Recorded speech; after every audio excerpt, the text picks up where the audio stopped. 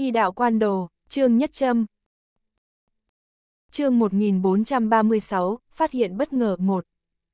Khi Sa Phổ Nguyên nhắc tới chuyện này, trong lòng bỗng nhiên nghĩ đến sở dĩ Xuân Dương có thể có được quang cảnh chuyển biến tốt trước mắt, còn phải cảm tạ cơ sở mà Tần Thanh và Trương Dương năm đó trôn xuống, nếu không phải bọn họ khai phá du lịch núi Thanh Đài, hiện giờ kinh tế Xuân Dương vẫn không thể phát triển nhanh chóng như vậy. Trương Dương nói, khai phá du lịch núi Thanh Đài càng lúc càng hoàn thiện, du khách cũng càng lúc càng nhiều, tôi thấy tình thế kinh tế của Xuân Dương về sau sẽ càng ngày càng tốt.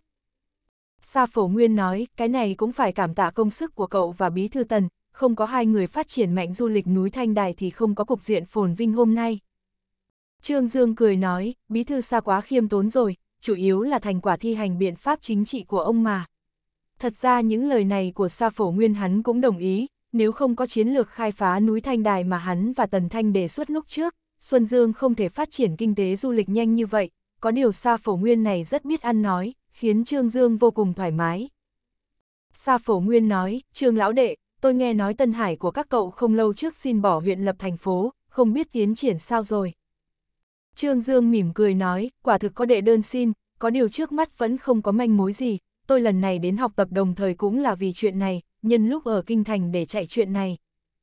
Sa Phổ Nguyên nói, cậu có nhiều quan hệ cao tầng, mặt mũi cũng rộng, tôi thấy chuyện này chắc không có vấn đề gì, sau khi cậu thành công, nhất định phải nói cho tôi biết kinh nghiệm thế nào đấy nhé. Trương Dương lúc này mới hiểu thì ra Sa Phổ Nguyên cũng có ý bỏ huyện lập thành phố, hắn cười nói, Xuân Dương nếu muốn bỏ huyện lập thành phố thì vẫn phải án chiếu theo trình tự mà làm, trước tiên đưa đơn lên thị lý, sau khi bí thư đỗ đồng ý sẽ khởi động trình tự xin, trăm ngàn lần đừng giống tôi, cấp trên chưa gật đầu mà tôi đã đệ đơn xin lên rồi, khiến cho mấy vị lãnh đạo giờ không thèm nhìn mặt tôi nữa. Sa phổ nguyên cười nói, trương lão đệ, nói một câu không nên nói, tôi mặc kệ thị lý nghĩ như thế nào, không cần phải nhìn sắc mặt của bọn họ, bỏ huyện lập thành phố cũng không phải là do họ phê duyệt mà. Trương Dương bật cười ha ha. Sa phổ nguyên cũng cười, y tuy rằng nói như vậy, nhưng y cũng không dám làm như thế, bởi vì y không có bối cảnh như Trương Dương. Cũng chỉ có thể nói cho sướng miệng, nhưng trong lòng thi hâm mộ vạn phần. Lúc này bí thư thị ủy phong trạch tôn Đông Cường tìm tới, gã gõ cửa phòng rồi đẩy cửa đi vào, cười nói bí thư xa, thì ra hai người các anh ở cùng một phòng. Tôn Đông Cường cười nói, tôi tới là muốn thông báo cho các anh, buổi tối hôm nay lớp ta ăn liên hoan, mấy vị lãnh đạo của trường học cũng sẽ tới, không có nguyên nhân đặc thù gì thì không cho phép được vắng mặt. Trương Dương nói, chúng ta là tới để học tập hay là đến để ăn cơm?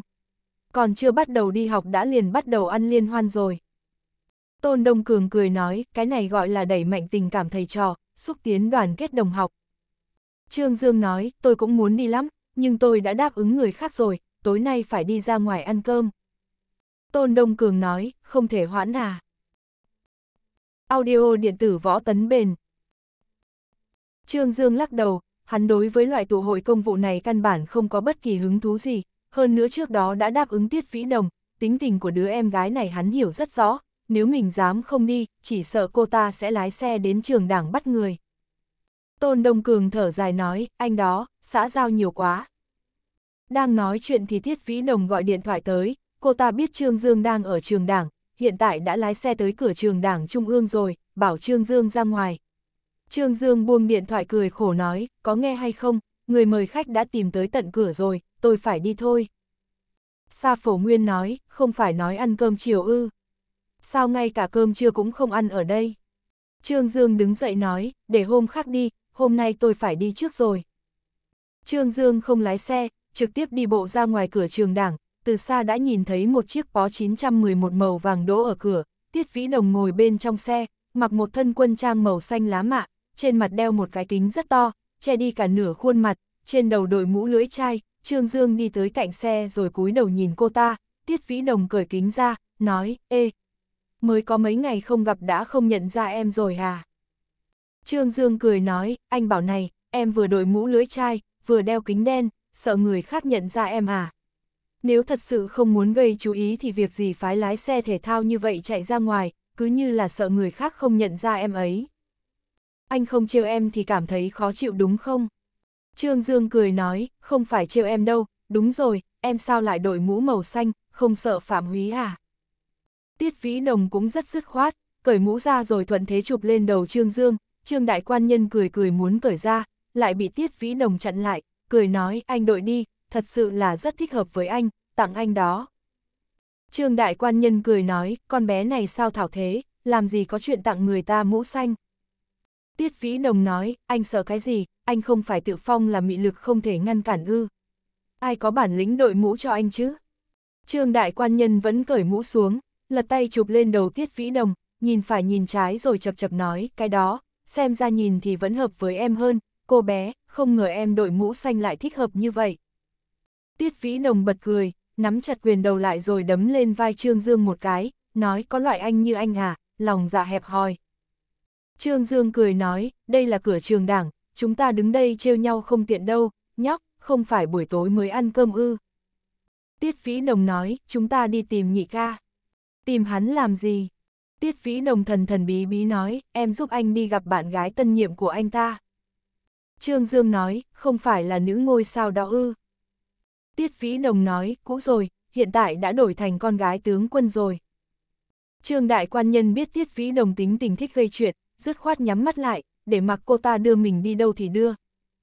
Tiết Vĩ Đồng dẫn Trương Dương tới tổng bộ tập đoàn Kiến Cơ, trước chuyện cô ta đã gọi điện thoại cho Từ Kiến Cơ, từ Kiến Cơ chờ bọn họ trong văn phòng, hai người đỗ xe rồi đi thang máy lên văn phòng ở tầng 28 của Từ Kiến Cơ.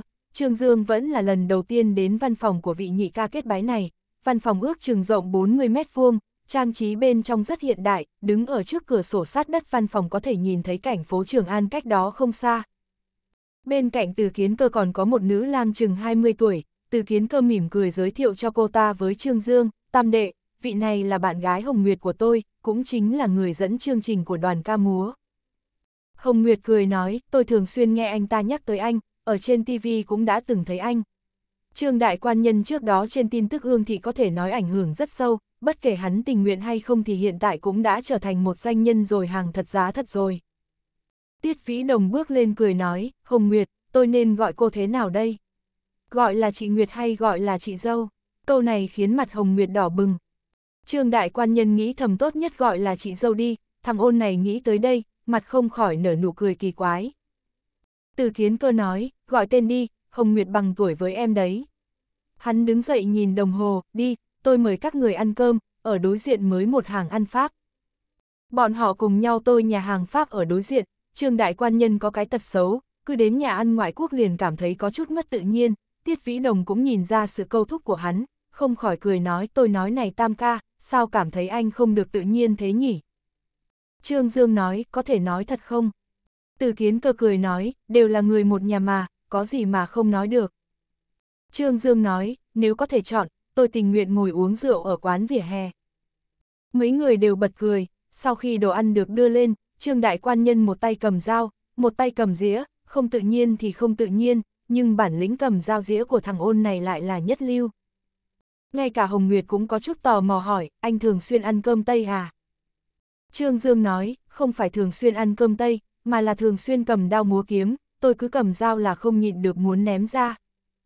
Tiết Vĩ Đồng ngồi đối diện hắn, thè lưỡi nói, anh nhìn cho rõ vào nhé, ngồi đối diện là em, đừng có mà phi dao lên mặt e. Hồng Nguyệt bật cười, cô ta cười lên trông rất phong tình, hai mắt vô cùng sáng, rất có thần thái. Từ kiến cơ nói, thực sự coi mình là tiểu lý phi đao ư. Tiết Vĩ Đồng nói, tam ca, tiến pháp của anh tốt như vậy, chắc hẳn chơi phi đao cũng không tồi, hay là anh biểu diễn cho bọn họ em đi. Cô ta không ngờ chỉ chỉ vào một bức tranh treo trên tường, tam ca, anh có thể phi trúng mắt trái của người trên tranh không? Trương đại quan nhân không có hứng thú đó, hắn chừng mắt lườm chừng mắt lườm tiết vĩ đồng một cái rồi nói, anh nói nẻ em gái, anh rất chú ý tới tố chất, em tốt xấu gì cũng là khuê nữ nhà giàu. chương 1437, phát hiện bất ngờ 2. Từ kiến cơ phụ họa, đúng vậy, con nhóc em mà điên lên là chẳng chú ý gì tới hoàn cảnh cả, anh chắc là phải tìm một người để quản em. Tiết Vĩ Đồng nói, em đối với nam nhân không có lòng tin. Trương Dương nói, câu nói này không đúng rồi, trên đời vẫn còn nhiều đàn ông tốt. Tiết Vĩ Đồng nói, em không tin, nam nhân trên đời này tuy rằng rất nhiều, nhưng không có một ai toàn tâm toàn ý cả, không nói ai khác, nhìn đức hạnh của hai anh là em biết rồi. Từ kiến cơ bị những lời này của cô ta khiến cho rất xấu hổ, dù sao bạn gái mới cũng ở ngay bên cạnh, cô nàng này nói chuyện cũng quá chẳng phân biệt được nặng nhẹ rồi, Trương Đại Quan Nhân thì thản nhiên như không phải nói mình, toát miệng cười ha ha, nói, làm việc không thể chỉ nhìn ngoài mặt, anh vẫn khá là chuyên tình đấy. Từ kiến cơ nói, anh có ý gì? Anh chuyên tình thì em hoa tâm chắc. Trương Dương cười nói, anh đâu có nói đích danh em, em gấp cái gì? Hồng Nguyệt nói, xem ra có người giật mình rồi. Từ kiến cơ cười nói, anh giật mình ư, so với Trương Dương thì anh là tình thánh trí tình trí thánh đó. Tiết Vĩ Đồng liên tục gật đầu nói, cái này thì em công nhận. Trương Dương thở dài nói, đám thái tử ra kinh thành các người hợp lại bắt nạt thằng nhà quê tôi, tôi xong quyền khó địch tứ thủ, tôi một mình không địch lại đám đông. Thằng ôn này đang lẩm bẩm rằng không địch lại số đông thì lại nhìn thấy phía trước có người quen đi tới, chính là Vương Học Hải mà Trương Đại Quan Nhân quen biết đã lâu. Vương Học Hải nhìn thấy Trương Dương cũng hơi ngẩn ra, bên cạnh gã còn có một cô gái trẻ tuổi xinh đẹp, thoạt nhìn cũng chỉ khoảng 20 tuổi. Có điều vẻ quyến rũ trên mặt lại không tương xứng với tuổi thực tế. Cô gái đó khoác tay Vương Học Hải, vừa nhìn đã biết quan hệ của hai người không bình thường. Trương Đại Quan Nhân biết lão bà của Vương Học Hải là Điền Linh, không ngờ thằng ôn này sau lưng lão bà lại đi tòm tem. Vương Học Hải nhìn thấy Trương Dương thì cũng có chút xấu hổ cười cười, gã vẫn chủ động đi tới, trong giới thái tử kinh thành rất ít người không biết từ kiến cơ và tiết vĩ đồng. Vương Học Hải rất khách khí chào hỏi bọn họ, nói với Trương Dương, chủ nhiệm Trương, ngài đến kinh thành lúc nào vậy? Tiết Vĩ Đồng nói, hiện tại không phải là chủ nhiệm Trương nữa rồi, nên gọi một tiếng bí thư Trương.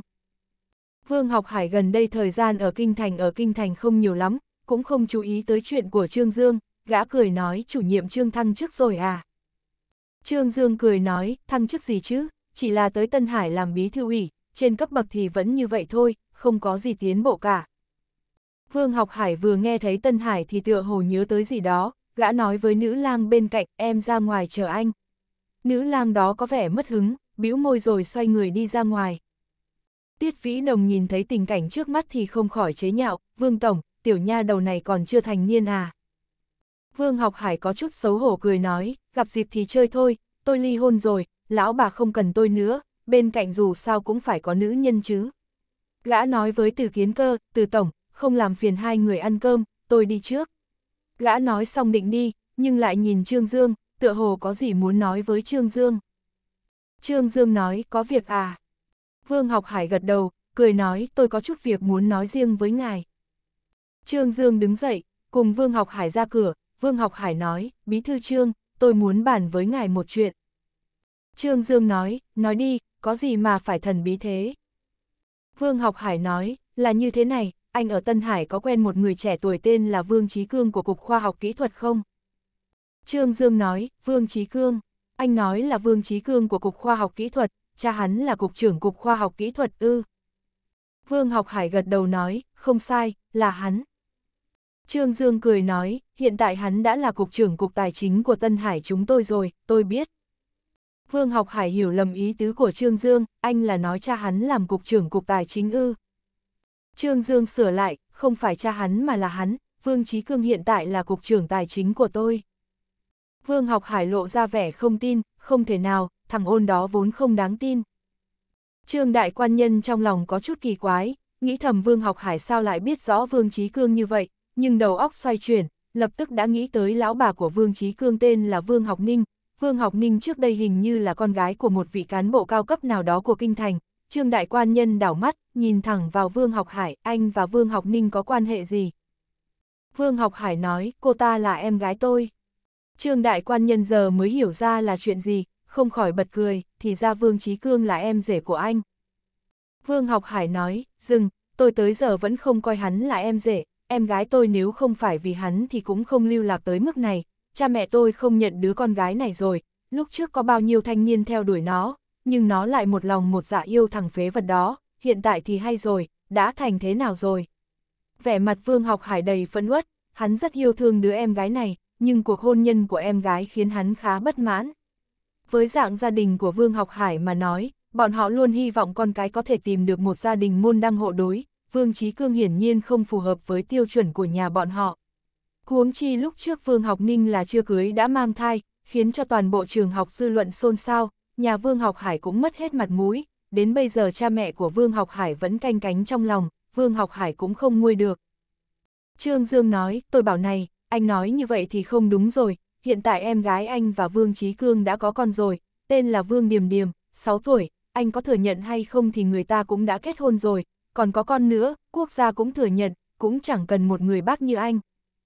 Vương Học Hải lại thở dài, bí thư trương, nói thật lòng, tôi là đau lòng cho em gái tôi.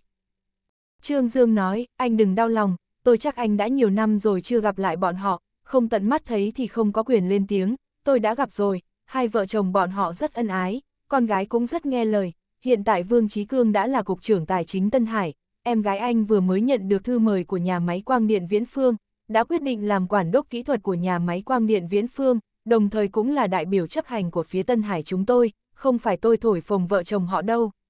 Nhưng đôi vợ chồng này về sau tiền đồ vô lượng. Vương Học Hải nói, nếu thật sự như vậy thì tôi cũng yên tâm. Trương Dương nói, đừng dùng ánh mắt cũ mà nhìn người, tôi thấy Vương Trí Cương so với anh còn có bản lĩnh hơn. Vương Học Hải bật cười ha ha, hắn là sợ Trương Dương thật, Trương Dương có nói hắn thế nào hắn cũng chịu, gật đầu nói, hy vọng là vậy. Trương Dương nói, là anh em ruột thịt, sao có thể cả đời không qua lại với nhau, tôi thấy anh tìm cơ hội khuyên nhủ cha mẹ của anh đi, nhiều năm như vậy rồi, hai vợ chồng họ cũng sinh con rồi, cha mẹ anh cũng già rồi, nếu hòa hảo thì nhanh chóng hòa hảo đi, đừng để sau cùng phải hối hận. Vương Học Hải nói, ý tứ của bí thư trương tôi hiểu, có điều cha mẹ tôi rất ngang, thế này đi, đợi một khoảng thời gian nữa tôi dành thời gian tới Tân Hải thăm họ. Gã vẫn rất lo nghĩ cho em gái, dù sao cũng chỉ có một đứa em, cha mẹ trong nhà tuy rằng vẫn tức giận, nhưng thật lòng vẫn rất bận tâm về đứa con này. Trương Dương nói, không thành vấn đề, anh nếu tới thì tôi sẽ dùng lễ đón khách quý chiêu đãi anh. Vương Học Hải nói, bí thư Trương không phải muốn tôi đầu tư chứ. Trương Dương nói, ai đầu tư tôi cũng đều hoan nghênh, có điều anh là là loại người nào thì tôi hiểu rõ, không có lợi thì không dậy sớm, anh nếu thật sự muốn đầu tư, tôi còn phải suy nghĩ nhiều. Vương Học Hải cười nói, bí thư Trương thật là biết nói đùa. Hắn cáo từ Trương Dương rồi đi. Vương Học Hải cũng không ngờ cục trưởng tài chính tân nhiệm của Tân Hải là Vương Trí Cương, đây cũng là một phát hiện bất ngờ, Trương Đại Quan Nhân trở về chỗ, Tiết Vĩ Đồng nói anh và Vương Học Hải quen nhau à? Trương Dương nói, quen lâu rồi, kể ra thì trước tiên là quen với bà vợ Điền Linh của gã. Tiết Vĩ Đồng nói, Vương Học Hải này quá mức gian xảo, em không thích. Cô ta tính tình ngay thẳng, có gì nói nấy, đương nhiên cái này cũng liên quan tới bối cảnh thân phận của cô ta, không cần phải cố kỵ quá nhiều. Từ kiến cơ cười nói, Vĩ Đồng, đừng nói xấu sau lưng người khác, Vương Học Hải mấy năm nay lăn lộn không tồi, nghe nói trong tay còn có một mỏ vàng, sản lượng khá là khả quan. Trương Dương gắp một miếng thịt bò bỏ vào miệng, cơm tây có chút ăn không quen, nhất là loại thịt bò nửa sống nửa chín, mùi vị thì cũng được, nhưng luôn cảm thấy trong miệng có mùi máu. Từ kiến cơ nhìn thấy Trương Dương ăn có vẻ miễn cưỡng, không khỏi cười nói, tam đệ, sớm biết như vậy tôi không dẫn cậu tới ăn đồ Pháp. Trương Dương nói, khí nhà quên của tôi quá nặng, đồ Tây không thích hợp với tôi, đúng rồi, hôm nay phó chủ tịch từ tới trường đảng, tôi bởi vì tới muộn nên không có duyên gặp mặt ông ta, đúng là đáng tiếc. Từ kiến cơ nghe ra ý tứ trong lời nói của hắn, mỉm cười nói, muốn gặp thì chẳng khó gì, hôm nào tôi dẫn cậu tới nhà ông ấy chơi. Trương Dương nói, thôi đừng đi, cửa cao quá, tôi không với tới được. Từ kiến cơ nói, thật ra cậu gặp mặt rồi sẽ biết, cũng là người bình thường giống chúng ta thôi. Đúng rồi, có chuyện tôi còn chưa hỏi cậu, cậu vừa tới Tân Hải nhậm chức không lâu, sao nhanh như vậy đã tới trường đảng học tập rồi. chương 1438, phát hiện bất ngờ 3. Trương đại quan nhân thở dài nói, một lời khó nói hết. Tiết Vĩ Đồng ở bên cạnh nói, đừng có làm trò, nói. Trương đại quan nhân lúc này mới kể lại tao ngộ của mình sau khi tới Tân Hải, hắn vừa mới nói xong thì từ kiến cơ đã cười nói, cậu làm như vậy cũng khó trách lãnh đạo thành phố đi giày vào cho cậu, chuyện lớn như bỏ huyện lập thành phố, nói sao cũng phải là lãnh đạo lên tiếng kêu gọi, cậu không nói tiếng nào đã vội vàng tự làm, căn bản là không để lãnh đạo vào mắt. Đổi lại là tôi thì tôi cũng không cao hứng. Tiết Vĩ Đồng nói, tôi còn cho rằng là chuyện gì lớn, bác hãng nghe lời tôi nhất. Tôi lát nữa sẽ gọi một cú điện thoại, để bác ấy quan tâm đến anh. Cô ta lập tức nhận thầu chuyện này. Trương Dương cười nói, đừng, anh và bí thư hạng cho dù có một chút hiểu lầm thì cũng là vấn đề trên công tác. Không liên quan gì tới tình cảm cá nhân, em ngàn vạn lần đừng có gây thêm loạn. Tiết Vĩ Đồng nói, sao lại gọi là gây thêm loạn? Một người là tam ca mà em kết bái, một người là bác ruột của em, em đương nhiên không muốn họ phát sinh mâu thuẫn gì. Trương Dương nói, không phải mâu thuẫn, chỉ là một số hiểu lầm thôi, anh có thể tự mình giải quyết, em đừng có nhúng tay vào mà. Từ kiến cơ nói, Trương Dương nói rất đúng, loại chuyện này tốt nhất giải quyết việc chung, em tốt nhất đừng tham gia. Tiết Vĩ Đồng nói, các anh thích thế nào thì làm thế nấy, em chẳng buồn quản. Từ kiến cơ nói, đi, tôi mời mọi người đi đánh gôn, buổi chiều thư giãn một chút, buổi tối chờ chu lão đại tới rồi uống một bữa. Trương Dương lắc đầu nói, tôi không chơi thứ đó đâu, buổi chiều còn có chút việc. Tiết Vĩ Đồng nói, em cũng không có hứng thú, tự anh đi đi. Từ kiến cơ nói, hai người thật đúng là làm người ta mất hứng, sân gôn mới xây, tuyệt đối là tiêu chuẩn cấp quốc tế, hai người không tới kiến thức một chút thì thật sự là rất đáng tiếc. Trương Dương buổi chiều tới nhà La Tuệ Ninh, hắn sở dĩ tới đó, một là để thăm bà ta, hai là để xem tình huống hiện tại của Văn Linh. Khi tới Văn gia, La Tuệ Ninh đang viết trong thư phòng, Văn Linh cũng không có ở nhà, La Tuệ Ninh nhìn thấy Trương Dương tới thì lộ ra vẻ vô cùng cao hứng, bà ta cười nói con tới rất đúng lúc, xem xem mẹ gần đây viết có tiến bộ hay không. Trương Dương theo La Tuệ Ninh vào thư phòng, nhìn thấy bà ta viết phúc như mộng lệnh, mặc tích vị kiền. Kiểu chữ của La Tuệ Ninh rất đẹp, Trương Dương khen, chữ đẹp, cũng sắp vượt qua thiên chỉ tiên sinh rồi. La Tuệ Ninh xì một tiếng khinh miệt, biết rằng thằng ôn này đang nịnh hót mình, và ta hiểu rõ tiêu chuẩn thư pháp của mình, bà ta chỉ coi thư pháp là sở thích, biết mình ở phương diện này thiên tư hữu hạn, tuyệt đối không trở thành được đại gia thư pháp. Trương Dương nói, mẹ đừng có mà không tin, chữ này viết rất không tồi, tặng cho con đi, lát nữa con tìm người đóng khung, treo trong văn phòng của con. La Tuệ Ninh cười nói, con thích thì cứ lấy, con không chê mẹ xấu, chữ mẹ viết có xấu đến mấy cũng chẳng sợ con thấy. Trương Dương cười ha ha, nhìn nhìn chung quanh rồi nói, chị Linh không ở nhà à. Nhắc tới Văn Linh, là Tuệ Ninh không nhịn được lại thở dài, mẹ cũng không biết nó đang làm gì, cả đêm hôm qua không về, sáng sớm sau khi trở về thì lại nói muốn tới Đông Giang thăm Hạo Nam, hơn nữa nói đi là đi luôn. Trương Dương lúc này mới yên lòng, biết Văn Linh không hề để lộ ra chuyện xảy ra tối hôm qua. Hắn nhớ tới một chuyện, mẹ nuôi, còn có chuyện muốn xin mẹ hỗ trợ. La Tuệ Ninh nói, giữa hai mẹ con chúng ta thì việc gì phải xin với trả không xin, nói đi. Trương Dương đem chuyện Lưu Kim Thành nhà máy rượu Giang Thành ủy thác hắn tìm người đề chữ cho sản phẩm mới. Trương Dương nghĩ tới nghĩ lui thấy chỉ có mẹ nuôi là thích hợp, dù sao bà ta cũng không có chức vụ cụ thể gì, thư pháp viết cũng đẹp. La Tuệ Ninh vừa nghe vậy liền lắc đầu nói, không được, loại chuyện như đề chữ cho nhà máy rượu mẹ không thể làm được, nếu để cha nuôi con biết khẳng định sẽ trách cứ mẹ. Trương Dương cười nói, có thủ lao gì đâu, chỉ hỗ trợ đề chữ thôi, yên tâm đi mẹ, sẽ không có sai phạm gì đâu. La Tuệ Ninh nói, bản thân loại chuyện này đã có tính chất quảng cáo nhất định, con đừng tìm mẹ, hơn nữa mẹ lại không uống rượu, con nếu muốn tìm người đề chữ thì phải tìm người thích uống rượu ấy. La Tuệ Ninh bỗng nhiên nghĩ tới một người, bà ta cười nói, có rồi, con không phải là huynh muội kết bái với Tiết Vĩ Đồng ư. Con thông qua cô ta tìm Tiết Lão, Tiết Lão thích uống rượu, hơn nữa không say, con để ông ấy nếm thử, nếu loại rượu này thật sự ngon như con nói thì chỉ cần để Tiết Lão uống cao hứng, còn yêu cầu ông ta để chữ ông ta khẳng định sẽ không cự tuyệt. Trương Dương gái gái đầu nói, Tiết Lão chắc gì đã thích con, con ở Bắc Cảng không được bí thư thị ủy hạng thành thích, hạng thành lại là ân nhân cứu mạng của Tiết Lão. La Tuệ Ninh cười nói, con nghĩ lòng giả của Tiết Lão nhỏ nhen vậy ư. Mâu thuẫn của con và hạng thành ông ta căn bản không thèm để ý đâu, con tưởng con quan trọng lắm à. Câu nói này khiến Trương Đại Quan Nhân mặt đỏ bừng, quả thực là như vậy, hắn đã nghĩ mình quá quan trọng rồi. Loại nhân vật cấp nguyên lão như tiết lão đương nhiên sẽ không chú ý tới sự tồn tại của tiểu nhân vật như hắn, và lại hạng thành chưa chắc đã nói mâu thuẫn giữa mình và y cho tiết lão. Kỳ thật hắn đi tìm tiết lão còn có một chỗ tốt, thông qua chuyện này có thể truyền một tín hiệu cho hạng thành, hắn và tiết gia có quan hệ không tồi, sau này hạng thành ở phương diện tiếp xúc với mình chắc cũng phải cố ký. Trương Dương mang đến hai hộp trà lá cho La Tuệ Ninh.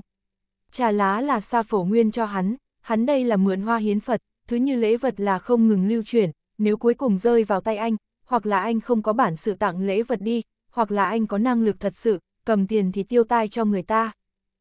La Tuệ Ninh đối với sự hiếu kính của con nuôi đương nhiên vui lòng nhận, bà ta lúc này mở hộp trà ra rồi đánh giá, hai hộp trà lá mà Sa Phổ Nguyên đưa tới này đều là trà long tĩnh thượng phẩm, giá trị xa xỉ, La Tuệ Ninh kiến thức rộng rãi, sau khi thử một ngụm liền đoán được giá trị của nó, bà ta nói khẽ Trương Dương, con hiện tại là bí thư ủy rồi, quyền lực trong tay càng lớn thì càng phải đề cao cảnh giác, sự dụ hoặc trong công tác và cuộc sống có khắp nơi, con nhất định phải bảo trì tỉnh táo. Trương Dương cười nói, mẹ nuôi, mẹ yên tâm, thứ không nên lấy con nhất định sẽ không dính vào. La Tuệ Ninh hài lòng gật đầu, con vừa tới Tân Hải không, sao nhanh như vậy đã được phái tới trường đảng học tập rồi. Ngay cả từ kiến cơ cũng có thể nhìn ra sự mập mờ trong đó, là Tuệ Ninh đương nhiên thoáng cái là có thể nhìn ra. Trương Dương nói, con trong chuyện bỏ huyện lập thành phố đã đắc tội với mấy vị lãnh đạo của Bắc Cảng, lần này vừa hay có cơ hội học tập này, người đầu tiên mà bọn họ nghĩ tới chính là con. La Tuệ Ninh không nhịn được liền bật cười, con đó, làm việc trước giờ không bận tâm tới cảm thụ của người khác, hiện tại thì hay rồi, vừa tới Bắc Cảng đã làm chướng mắt người khác, đem con xung quân tới Kinh Thành. Trương Dương cho rằng La Tuệ Ninh dùng từ xung quân này khá là chuẩn, hắn cười nói, thật ra con cũng có thể cứng rắn cự tuyệt không đi học, nhưng về sau lại nghĩ, đối kháng với một vị lãnh đạo là không đúng, hơn nữa con quả thực có rất nhiều chuyện cần đến Kinh Thành để làm. La Tuệ Ninh nói, chuyện bỏ huyện lập thành phố ư. Trương Dương gật đầu nói, con lần này vào kinh chính là để chứng thực chuyện này. La Tuệ Ninh mỉm cười nói, chuyện này mẹ cũng không rõ lắm, đã hỏi qua cha nuôi của con vài lần nhưng ông ấy không trực tiếp trả lời mẹ, mấy ngày nay ông ấy công việc bận rộn, ngày nào cũng khuya mới về, dù sao con cũng không đi ngay, đợi ông ấy xong việc thì con tới nhà mà hỏi. Trương Dương cười nói, mẹ nuôi, chỉ cần mẹ giúp con thì chuyện này nhất định sẽ thành. La Tuệ Ninh nói, cha nuôi của con làm việc trước giờ đều là công và tư rõ ràng, ông ấy sẽ không bởi vì anh con là con nuôi mà mở một mắt lưới cho Tân Hải đâu. Tương tự, nếu ông ấy thấy Tân Hải bỏ huyện lập thành phố thời cơ thành thục thì cũng sẽ không quản những người khác có phản đối hay không. Trương Dương nói, con sở dĩ nghĩ tới chuyện này cũng là lần trước cha nhắc con về phương diện này. La Tuệ Ninh có chút kinh ngạc nói, ông ấy đã nhắc tới chuyện này với con ư. Trương Dương gật đầu, có nhắc. La Tuệ Ninh nói, nếu ông ấy đã chủ động nhắc tới thì như vậy chuyện này có hy vọng thành công rất lớn. Bà ta chậm rãi đặt chén trà xuống, trong khoảng thời gian con tới Tân Hải công tác có thuận lợi không? Trương Dương cười nói, đại thế thì vẫn ổn, có điều năng lực lãnh đạo lúc trước thật sự quá kém, công tác mà con phải làm rất nhiều, từ xây dựng thành thị đến quy hoạch kinh tế, tất cả đều phải bắt đầu từ đầu. La Tuệ Ninh nói, Tân Hải là nơi đầu tiên mà con một mình đảm đương một phía, đối với sự phát triển về sau của con mà nói thì khá là quan trọng, cho nên con nhất định phải làm tốt công tác ở Tân Hải, dùng thành tích để nói chuyện, khiến những người nghi ngờ con phải ngậm miệng. Trương Dương nói, mẹ nuôi, mẹ yên tâm đi, ai dám nghi ngờ con, con sẽ vả vỡ miệng hắn. La Tuệ Ninh cười nói, đứa nhỏ này, trừ đánh người ra thì con không nghĩ ra chủ ý gì khác à. chương 1439, tình bạn 1 Trương Đại Quan Nhân đã không còn là thanh niên xung động ngày xưa nữa, đúng như lời của La Tuệ Ninh, hiện tại dù sao cũng đã là bí thư huyện ủy, nhất cử nhất động đều bị người ta chú ý, ít nhiều gì cũng phải cố kỵ một chút. Lần này gặp La Tuệ Ninh, Trương Dương bất giác nhớ tới chuyện tham gia hôn lễ của Đinh Lâm ở Bắc Cảng trước đó vài ngày, lúc ấy Đinh Cao Sơn lấy ra một bức tranh vô để được coi là của thiên chỉ tiên sinh, bị hắn liếc một cái liền nhìn thấu là đồ giả, Trương Dương kể lại sự kiện đó với La Tuệ Ninh, hắn nói khẽ, mẹ nuôi, con từ trên phong cách vận bút của bức tranh chữ đó đã nhìn ra là do Hoàng Nhàn Vân viết. La Tuệ Ninh thở dài nói, về chuyện này mẹ vốn không muốn nói đến, hắn vốn là đệ tử đắc ý nhất của tiên sinh, nhưng về sau vì chuyện gì đó mà tiên sinh không nói gì tới hắn, thậm chí ngay cả lúc Lâm Trung cũng không thông chi cho hắn trở về gặp mặt, trên thực tế tiên sinh đã sớm trục xuất hắn rồi. Trương Dương nói khẽ, là vì chuyện hắn mô phỏng tác phẩm của tiên sinh ư. La Tuệ Ninh nói, không chỉ có như vậy, tiên sinh trong 10 năm hạo kiếp cũng gặp một số đãi ngộ không công bình, khi đó Hoàng Nhàn Vân chính là đệ tử được yêu thương nhất của tiên sinh, hắn là người phân rõ giới hạn với tiên sinh nhất, cũng là điển phạm của quân Pháp bất vị thân. Nhắc tới chuyện này vẻ mặt của La Tuệ Ninh tràn ngập sự khinh bỉ. Trương Đại Quan Nhân vẫn là lần đầu tiên biết được đoạn quá khứ này, nếu thật sự là như vậy, nhân phẩm của Hoàng Nhàn Vân thật sự là khiến người ta khinh thường, cũng khó trách thiên chỉ tiên sinh không nhắc tới tên đệ tử này nữa. La Tuệ Ninh nói, hắn làm ra không ít chuyện khiến tiên sinh thương tâm, nhưng trường hảo kiếp đó qua đi, hắn đi tới trước mặt tiên sinh khóc lóc kể lể, tiên sinh không hề ghi hận tất cả những gì mà hắn làm, cho rằng tất cả đều là do thời đại tạo thành, bỏ qua hiềm xưa mà tha thứ cho hắn, lại thu nhận hắn trở về môn tường, nhưng theo sự cải cách mở cửa. Tư tưởng của mỗi người lại bị ảnh hưởng, giá của những tác phẩm của tiên sinh trong thị trường quốc tế nước lên thì thuyền lên. Hắn nhìn thấy vậy thì lại động lòng.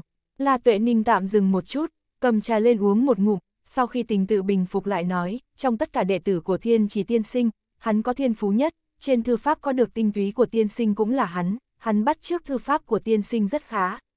Và hắn cũng lợi dụng điểm này, giả mạo chữ viết của tiên sinh, từ đó không ngừng có những tác phẩm giả được tuồn vào thị trường.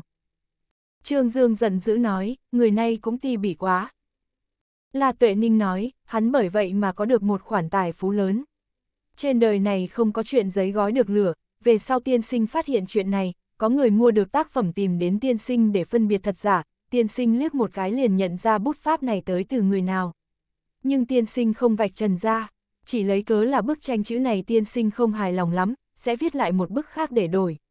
Tiên sinh từ đó nản lòng thoái chí, gọi hắn đến, nói rằng từ sau hai người không còn liên quan gì nữa. Hoàng Nhàn Vân đau khổ cầu xin, tiên sinh bất phi sở động, nhưng mà tiên sinh nhân hậu, cho rằng việc xấu trong nhà không nên để lộ ra ngoài, chuyện này chỉ có một số ít người biết. Hoàng Nhàn Vân sau đó không lâu rời khỏi Trung Quốc tới Nhật Bản. Ai ngờ sau khi hắn xuất ngoại vẫn không biết hối cải, hoặc là giả mạo tên của tiên sinh đi lừa bịp. Tiếc nuối lớn nhất trong cuộc đời của tiên sinh chính là chuyện này. Trương Dương tức giận nói, lần sau để con gặp hắn, nhất định sẽ đập cho hắn một trận. La Tuệ Ninh thở dài nói, thôi con ạ, hắn kiếm tiền như vậy mấy năm, không biết có phải là cắn rứt lương tâm hay không, cuối cùng không mạo danh nữa, có điều hắn vẫn dùng danh nghĩa đệ tử của thiên chỉ tiên sinh để hoạt động khắp nơi, hắn trên thư pháp quả thực thiên tư hơn người, mấy năm nay không ngờ cũng tạo ra được danh tiếc, giá của tác phẩm cũng lên như diều gặp gió, hiện giờ cũng thành danh gia thư pháp, tất nhiên không cần phải giả mạo tiên sinh nữa. Trương Dương nói, hạng người lừa đời lấy tiếng.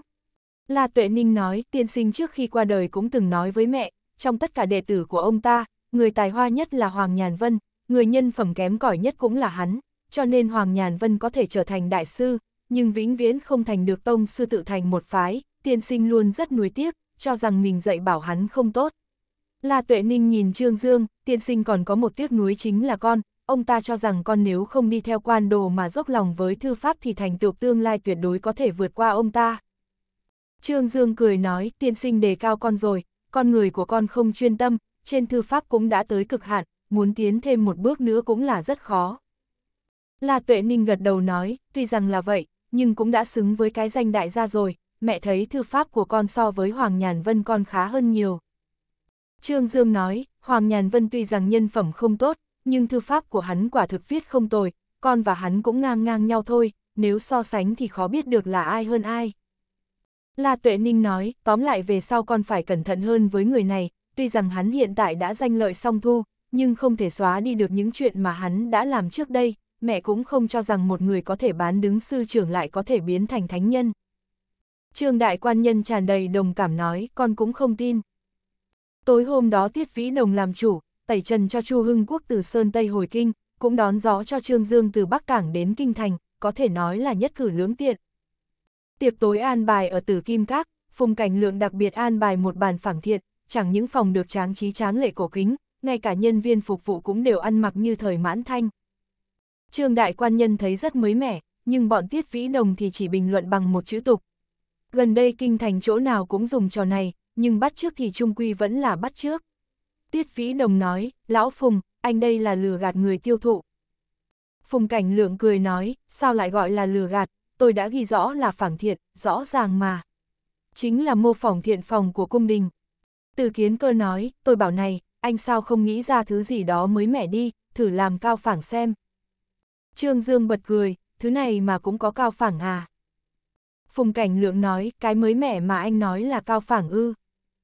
Từ kiến cơ nói, chúng tôi không cầu anh lôi từ hy thái hậu từ trong đông lăng lên bàn rượu, nhưng nói sao cũng phải bày bàn rượu trong cố cung, có vậy thì mới có vị đạo của phảng thiện chứ. Phùng Cảnh Lượng nói, đại cát đại lợi, ăn cơm thôi mà, đừng nói những việc xui xẻo đó, nhớ tới cái mặt ngựa của từ hy thái hậu là tôi không nuốt trôi nổi. Chu Hưng Quốc bật cười ha ha, trong khoảng thời gian này hắn luôn ở Sơn Tây, da đen đi rất nhiều, có điều so với trước đây thì trở nên sắc bén hơn. Chu Hưng Quốc nói, các anh đừng làm khó cảnh lượng, tôi thấy thế này là tốt rồi, ít nhất thì hai cung nữ này cũng không tồi, nếu thật sự mời cung nữ của thời vãn thanh tới hầu hạ chúng ta, chỉ sợ là các anh nhìn thấy bộ dạng của họ cũng không nuốt nổi cơm. Phùng Cảnh Lượng nói, lời này nói không sai đâu, ảnh thời đó tôi cũng siêu tầm được một đống, hay là để tôi mang ra cho các anh xem. Từ kiến cơ nói, được rồi, xin anh dơ cao đánh khẽ đừng làm ảnh hưởng tới sự ngon miệng của chúng tôi. Trương Dương lúc này cầm bình rượu lớn lên rót rượu cho mọi người, đây cũng không phải là hắn không muốn làm phiền nhân viên phục vụ, mà là một bình rượu 5 cân, để hai mỹ nữ nhân viên phục vụ yếu đuối bưng lên thì đúng là rất lao lực. Mấy người đều tò mò nhìn bình rượu trong tay Trương Dương, Chu Hưng Quốc hỏi, rượu gì vậy? Trương Dương nói, đặc sản Đại Minh Xuân của Giang Thành. Từ kiến cơ cầm chén rượu lên thử một ngụm, chép miệng nói, rượu ngon. Mấy người đều là hạng nhân vật biết hàng, sau khi phẩm rượu đều cho rằng là không tồi, Tiết Vĩ Đồng nói, tam ca, anh buổi chiều về lấy thêm rượu đi.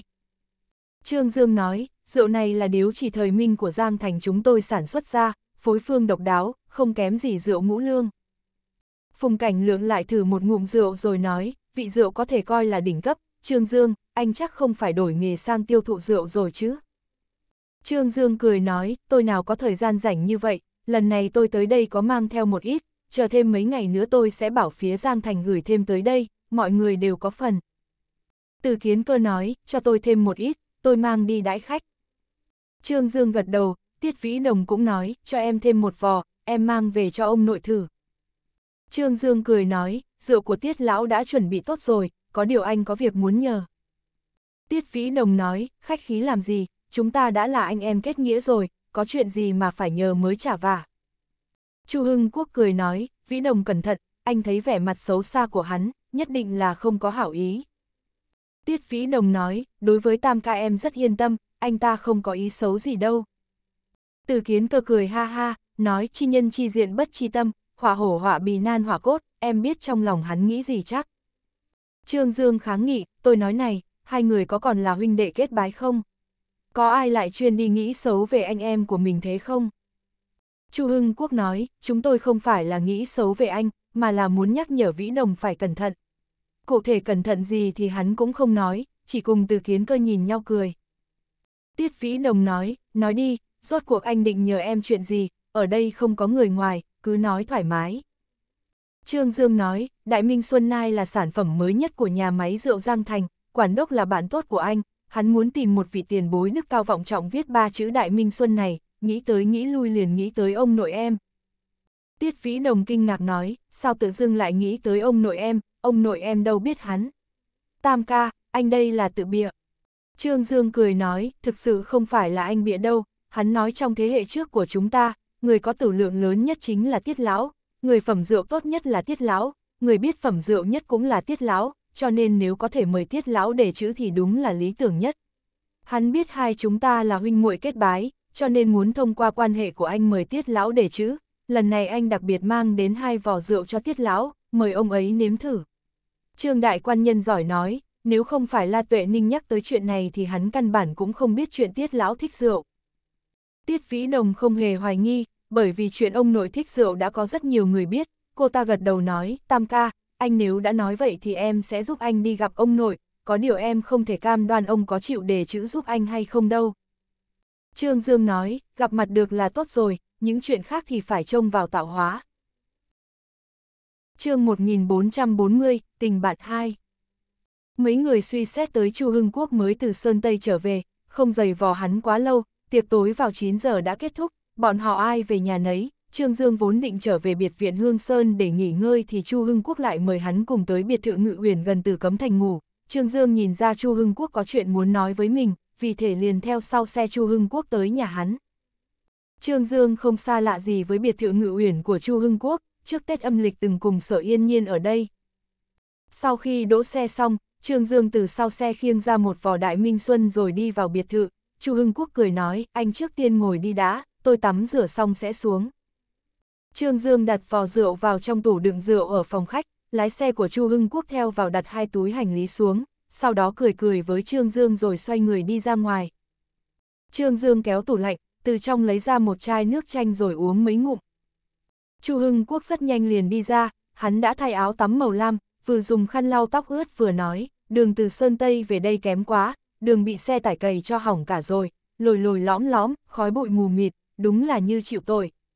Hắn nhìn thấy Trương Dương cầm một chai nước chanh, không khơ roi nói uống nước chanh làm gì. Uống rượu đi, Hắn mở tủ rượu lấy ra một chai Louis 13, rồi cầm hai cái ly, sau khi rót rượu liền bảo Trương Dương giúp lấy đá trong tủ lạnh. Trương Dương nói, đại ca, anh mời tôi tới đây chỉ để uống rượu thôi ư.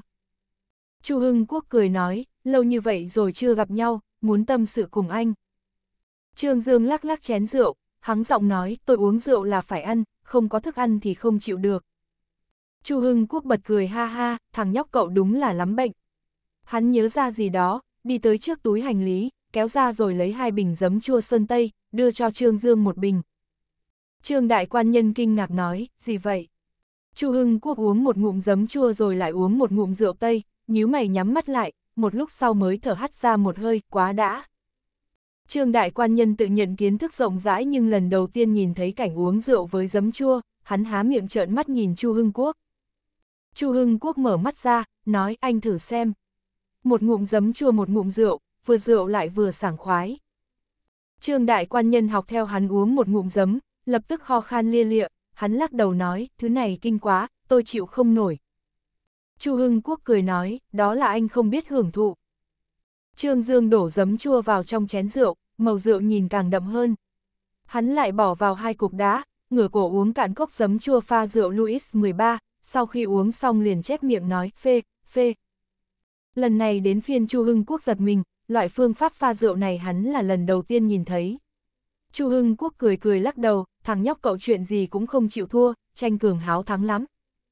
Trương Dương cười nói, bất kể là uống rượu hay là ghen thì tôi đều lợi hại hơn anh. Chu Hưng Quốc cầm bình rượu rót thêm cho hắn, cười nói, tam đệ, tôi hôm nay gọi cậu tới đây thật ra có một số chuyện muốn nói với cậu. Trương Dương gật đầu nói, tôi đã nhìn ra rồi, có một số lời không tiện nói trước mặt người ngoài có đúng không? Chu Hưng Quốc nói, cậu nếu thông minh như vậy, có nhìn ra vĩ đồng đối với cậu có chút khác lạ không? Trương đại quan nhân bị câu hỏi đột ngột của Chu Hưng Quốc khiến cho ngây ra, đang cầm ly rượu lại bỏ xuống, lão đại, lời này tôi sao nghe khó hiểu vậy nhỉ? Chu Hưng Quốc nói, lão đệ, kẻ trong cuộc thì mê. Tôi và kiến cơ đều đã nhìn ra, vĩ đồng đối với cậu hình như đã động chân tình rồi. Trương đại quan nhân trợn trừng đôi mắt trâu lên, lão đại, đừng có nói linh tinh, chúng tôi đã là huynh muội kết bái. Mọi người ai cũng vậy thôi, tôi không thấy vĩ đồng có gì khác biệt đối với tôi hay là các anh cả. Chu Hưng Quốc nói, vậy chứng tỏ cậu thật lòng coi nó như em gái. Trương Dương giờ khóc giờ cười, trời đất chứng giám, tôi thực sự coi cô ta như em gái, tôi nếu có một chút ý đồ nào với nó thì tôi sẽ bị trời đánh chết. Ngừng, đang yên đang lành cậu đi rủa mình làm cái gì? Tôi không phải là không tin cậu, Chu Hưng Quốc ngắt lời Trương Dương. Trương Dương nói, đại ca, anh cũng không phải là không biết. Tôi đã đính hôn với Yên Nhiên rồi, chúng tôi sắp kết hôn. Vĩ Đồng cũng biết, cô ta còn tặng chúng tôi lễ vật kết hôn nữa. Các anh nhất định là hiểu lầm rồi, Vĩ Đồng căn bản chính là đã coi tôi như anh ruột, không có ý gì khác cả. Chu Hưng Quốc nói, lão đệ à, tôi và Vĩ Đồng đã cương nhau bao nhiêu năm rồi. Tính cách của nó thế nào thì tôi là người rõ nhất, hơn nữa chuyện này cũng không chỉ một mình tôi nhìn ra, kiến cơ cũng cho rằng như vậy, mọi người đều là anh em kết nghĩa, có một số việc trước tiên phải nhắc nhở cậu một chút thì tốt hơn. Trương đại quan nhân chưa từng nghĩ tới Tiết Vĩ Đồng lại có tình cảm với mình, hắn vẫn coi Tiết Vĩ Đồng như một đứa bé trai, thậm chí còn từng cho rằng Tiết Vĩ Đồng không có hứng thú đối với nam tính. Chu Hưng Quốc vừa nói như vậy, hắn không khỏi suy nghĩ, Tiết Vĩ Đồng đối với mình thật đúng là không giống như bình thường. Trương Dương nói, đại ca, anh nói chuyện này tôi nên làm gì bây giờ? Chu Hưng Quốc nói, mấu chốt của chuyện này là ở cậu, chỉ cần cậu không có tình cảm gì với nó thì tất nhiên sẽ không có vấn đề. Trương Dương nói, tôi thực sự coi cô ta như em gái ruột. Chu Hưng Quốc nói, cậu cũng đừng để chuyện này trong lòng, tôi chỉ nhắc nhở cậu một chút thôi, về sau cần phải bảo trì khoảng cách, đừng cho nha đầu kia quá nhiều ảo tưởng. Trương Dương gật đầu nói, anh nếu nhắc nhở tôi sớm thì tôi cũng sẽ không nhắc tới chuyện nhờ tiết lão để chữ. Chu Hưng Quốc cười nói, có gì đâu, giữa anh em giúp nhau chút cũng là điều nên làm, cậu tìm tiết lão xem như tìm đúng người rồi, chỉ cần ông ta thích khẩu vị của rượu này thì 10 phần sẽ giúp cậu đề chữ. Sự nhắc nhở của Chu Hưng Quốc đối với Trương Dương mà nói là rất đúng lúc, giữa hắn và Tiết Vĩ Đồng chưa bao giờ có suy nghĩ tới phương diện tình cảm nam nữ, chuyện này phát sinh càng nghiệm chứng một chuyện, tình bạn thuần túy giữa nam và nữ cơ hồ là không tồn tại, Trương Đại Quan Nhân quyết định về sau phải bảo trì khoảng cách thích hợp với Tiết Vĩ Đồng. Có điều chuyện đã được định ra thì không tiện thay đổi, ví dụ như nói tới bái phòng Tiết Lão. Tiết Vĩ Đồng đối với chuyện mà Trương Dương nhờ và luôn rất coi trọng, ngày hôm sau liền an bài chuyện này, để Trương Dương buổi chiều cùng cô ta đi gặp ông nội. Tiết Lão trong khoảng thời gian này đều sống ở biệt thự phía Tây ở Kinh Thành, căn biệt thự này là lễ vật mừng thọ 80 tuổi của con trai Tiết Thế Luân cho ông ta, con cái của Tiết Lão Tổng chính không nhiều lắm, quan viên cao nhất trong chính đàn là con lớn nhất của ông ta Tiết Thế Thông, hiện giờ là bí thư tỉnh ủy Kiềm Nam, nhưng nhân tài ở phương diện buôn bán thì xuất hiện lớp lớp, trong đó người nổi bật nhất phải kể tới con thứ ba của ông ta là Tiết Thế Luân, cũng chính là cha của Tiết Vĩ Đồng. Tiết Thế Luân tổng chính rất sớm, sau khi cải cách mở cửa thì dứt khoát bỏ làm công chức bước vào kinh thương, là một trong số những người rời khỏi đại lục tới Hong Kong làm kinh thương sớm nhất, về sau lại chuyển tới Âu Mỹ, vào những năm 80 thì nhập tịch Canada, vì chuyện này mà Tiết Lão rất không vui. Tiết Thế Luân khác với đám thương nhân cha Tấn Bắc và Hà Trường An, hoạt động buôn bán của y chủ yếu tập trung ở nước ngoài, đầu tư và sinh ý trong nước cơ hồ không có, điều này khiến cho Tiết Thế Luân so với những người này thì càng có vẻ thần bí hơn, trong thương giới trong nước thậm chí rất ít người biết tên y, nhưng chỉ từ việc Tiết Vĩ Đồng tuổi còn trẻ mà đã dựng lên công viên Dieter ở trong nước, lại có salon chuyên bán xe sang, sau lưng nhất định là vì có Tiết Thế Luân giúp đỡ, tài lực của Tiết Thế Luân tuyệt đối có thể tiến vào hàng ngũ phú hào cao nhất trong nước. Tiết lão đa số thời gian đều ở Nam Hải, trong khoảng thời gian này ở tại khu phía Tây là có một nguyên nhân quan trọng, con gái của ông ta là Tiết Anh Hồng bởi vì mang thai đợi sinh nên quay về Kinh Thành ở, trong khoảng thời gian này Tiết Lão và vợ đều đây bầu bạn với con gái. Trương Dương theo Tiết Vĩ Đồng tới biệt thự, khu biệt thự này được đặt tên là Yến Tây số 1, giá của mỗi căn biệt thự đều hơn trăm ngàn, có thể sống ở đây thì không phú tức quý, biện pháp bảo vệ và quản lý vật nghiệp đều là khá nghiêm mật, nếu không phải có Tiết Vĩ Đồng dẫn đường, Trương Dương rất khó tiến vào được nơi này. Trương Đại Quan Nhân mở cốp lấy ra hai vò rượu 10 cân, bởi vì có sự nhắc nhở của Chu Hưng Quốc tối hôm qua, Trương Đại Quan Nhân hôm nay có vẻ không được tự nhiên lắm, dọc theo đường đi đa số thời gian đều duy trì trầm mặc. Tiết Vĩ Đồng vài lần bắt chuyện với hắn, nhưng hắn đều lộ ra vẻ thờ ư. Tới trước biệt thự số 99, Tiết Vĩ Đồng bảo Trương Dương đỗ xe vào gara, cô ta mở cửa xe xuống trước, gọi một gã bảo vệ tới giúp Trương Dương khiêng rượu.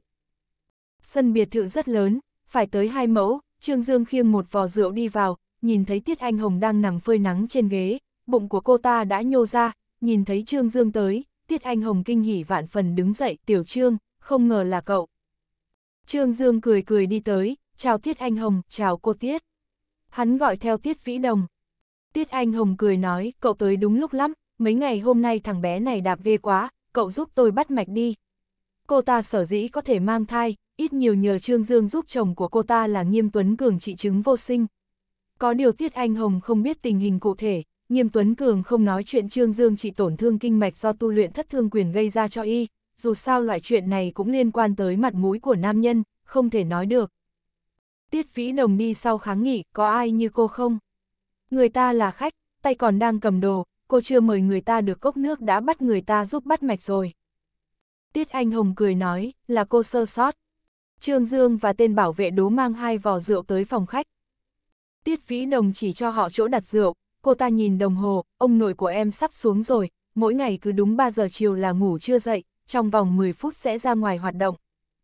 Trương Dương cũng nhìn đồng hồ, hiện tại vừa đúng 3 giờ chiều.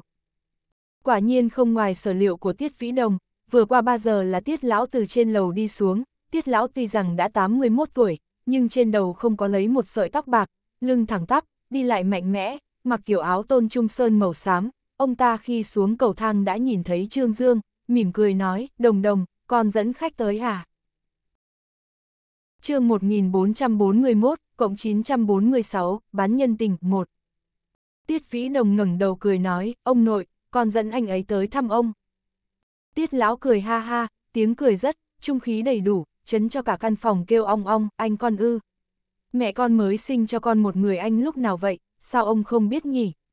Chỉ từ những lời này cũng có thể nhìn ra Tiết Lão vô cùng hài hước. Trương đại quan nhân ngước nhìn Tiết Lão, không thể nào không ngước nhìn được, người ta đứng ở trên lầu, mình thì đứng dưới lầu, phải dùng góc độ như vậy mới có thể thấy rõ diện mạo của Tiết Lão. Thật ra bất kể người ta đứng chỗ nào, khí trường cũng thật sự là quá cường đại, sinh nhai chính trị nhiều năm đã tu luyện ra quan uy không phải bình thường. Trương đại quan nhân chỉ có ở trước mặt rất ít người mới cảm thấy cảm giác nghẹt thở, ở trước mặt kiều lão đã từng cảm thấy, ở trước mặt tiết lão cũng có cảm giác đồng dạng. Có điều tính tình của tiết lão hiển nhiên so với kiều lão thì hướng ngoại hơn rất nhiều, hai người có điểm giống nhau, thoạt nhìn đều rất hòa ái, nhất là khi đối mặt với vãn bối, thật sự không ra vẻ chút nào, cái đó không hề mâu thuẫn với khí trường siêu cường của bản thân bọn họ. Tiết lão dáng người rất cao, tương đương với Trương Dương, khi trẻ tuổi so với Trương Dương chắc cao hơn không ít, ông ta mỉm cười nhìn Trương Dương nói tiểu tử này là. Tiết Vĩ Đồng nói, Trương Dương, con đã nói với ông rồi, tam ca kết bái của con. Tiết lão bật cười, ông ta lắc đầu nói, cháu gái của tôi không ngờ cũng chơi trò kết bái, khí lỗ mãng có phải hơi nặng một chút hay không? Ông ta vươn tay về phía Trương Dương, Trương Dương, tôi đã nghe nói tới tên của cậu, hoan nghênh cậu đến nhà chúng tôi làm khách. Trương Dương vươn tay ra, bắt tay với Tiết Lão, lòng bàn tay của Tiết Lão đầy vết chai, cực kỳ thô ráp, nắm tay Trương Dương rất mạnh rồi lắc lắc, sau đó thì vỗ vỗ lên mu u bàn tay của Trương Dương, người trẻ tuổi, khí lực không nhỏ. Trương Dương cười nói, khẳng định không bằng Tiết Lão khi trẻ tuổi. Tiết Lão gật đầu nói, khi tôi trẻ tuổi, ở bộ đội là vô địch vật tay, khỏe đến nỗi có thể vật ngã một con trâu. Ông ta đo chiều cao với Trương Dương rồi nói, so với cậu hiện tại thì còn cao hơn nữa cái đầu, có điều giờ già rồi, chiều cao cũng co lại. Trương Dương bật cười. Tiết Vĩ Đồng nói, ông nội, Trương Dương lần này đặc biệt đưa rượu tới cho ông đấy. Tiết Lão nhìn nhìn vò rượu cách đó không xa, mỉm cười nói, người tặng Lê Át có việc muốn cầu, thằng nhóc, cậu từ xa mang rượu tới cho tôi, chắc không phải có việc muốn nhờ chứ. Trương đại quan nhân thầm than, lão thủ chính trị đúng là lão thủ chính trị, liếc một cái liền nhìn ra mình tới là có mục đích, tiết lão trước mặt cao thủ chính trị như tiết lão, mình chơi trò tâm nhãn chỉ tổ chuốc lấy nhục, cho nên thật thà là tốt nhất. Trương Dương mỉm cười nói, tiết lão, tôi lần này đến quả thực có việc muốn nhờ, có điều, tôi bây giờ vẫn chưa muốn nói. Tiết lão cười nói, thừa nước đục thả câu. Tiết Vĩ Đồng nói đỡ Trương Dương, ông nội, Trương Dương là muốn nhờ ông thử xem rượu này thế nào. Tiết lão nói, thực sự coi tôi là kẻ nát rượu à, tôi vừa mới ngủ chưa dậy, chuẩn bị ra ngoài đi dạo, giờ muốn tôi uống rượu, bình thường là ai khuyên tôi nhất định phải uống ít rượu, phải giữ gìn sức khỏe nhỉ. Tiết Vĩ Đồng cười nói, ông nội, ông không phải nói mình là đại sư phẩm rượu đứng đầu trong nước ư. Ông nếm thử xem rượu này thế nào, khảo nghiệm trình độ phẩm rượu của ông xem. Tiết lão cực kỳ sủng ái đứa cháu gái này, ông tôi bất đắc dĩ lắc đầu nói, được, thử thì thử. Trương Dương còn mang theo người một bình đại minh xuân nửa cân, lập tức mở nắp bình ra, rót khoảng hai lang rượu vào chọn thủy tinh đâu Tiết Vĩ Đồng mang tới.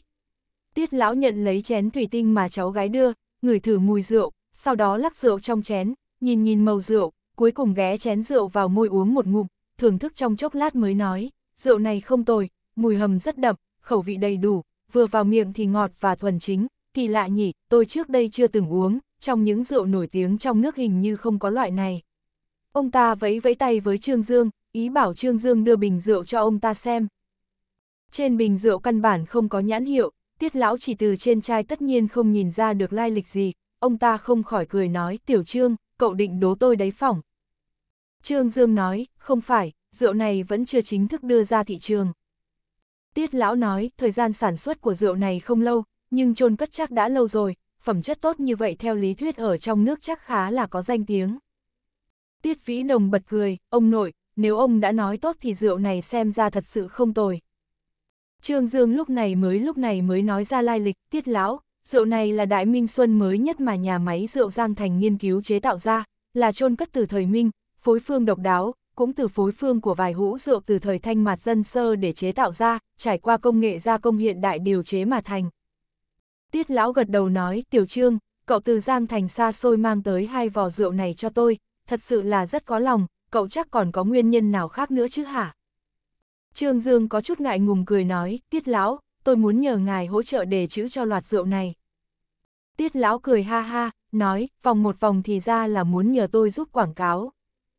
Trương Dương vội vàng giải thích, không phải là quảng cáo, là nhờ ngài viết ba chữ Đại Minh Xuân, ngài có nghiên cứu tinh thâm về văn hóa rượu, lại là tiền bối cách mạng đức cao vọng trọng, cho nên mới muốn nhờ ngài viết ba chữ này, tiết lão đừng hiểu lầm, thực sự không phải để quảng cáo, thật ra văn hóa rượu cũng là một bộ phận của văn hóa Trung Hoa chúng ta, là một trong những côi bảo của nền văn minh Trung Hoa. Tiết lão nói, tài ăn nói của cậu thật đúng là tốt thật, vốn giúp cậu viết ba chữ này cũng không có gì, có điều uống rượu ảnh hưởng tới sức khỏe, tôi nếu viết ba chữ này chẳng khác nào cổ vũ uống rượu, cái này hình như không tốt lắm, hơn nữa tôi cũng không muốn tham gia vào hoạt động buôn bán, hy vọng cậu có thể hiểu cho. Trương Dương còn muốn tiếp tục khuyên bảo liền thấy Tiết Vĩ Đồng đứng ở bên cạnh nháy mắt với hắn, Tiết Vĩ Đồng hiểu rất rõ ràng tính tình của ông nội, một khi ông ta đã quyết định chuyện gì thì tuyệt đối không thay đổi. Trương Dương chỉ có thể từ bỏ ý định tiếp tục khuyên bảo, nhưng cứ như vậy từ bỏ thì hắn lại có chút không cam lòng, Linh cơ khẽ động nói, Tiết Lão, hay là ngài hỗ trợ viết chữ uống rượu ảnh hưởng tới sức khỏe đi. Tiết Lão không nhịn được cười ha hả, thằng ôn này xoay chuyển đầu óc đúng là nhanh thật. Tiết Vĩ Đồng lắc lắc cánh tay ông nội, ông nội, ông viết mấy chữ cho anh ấy đi.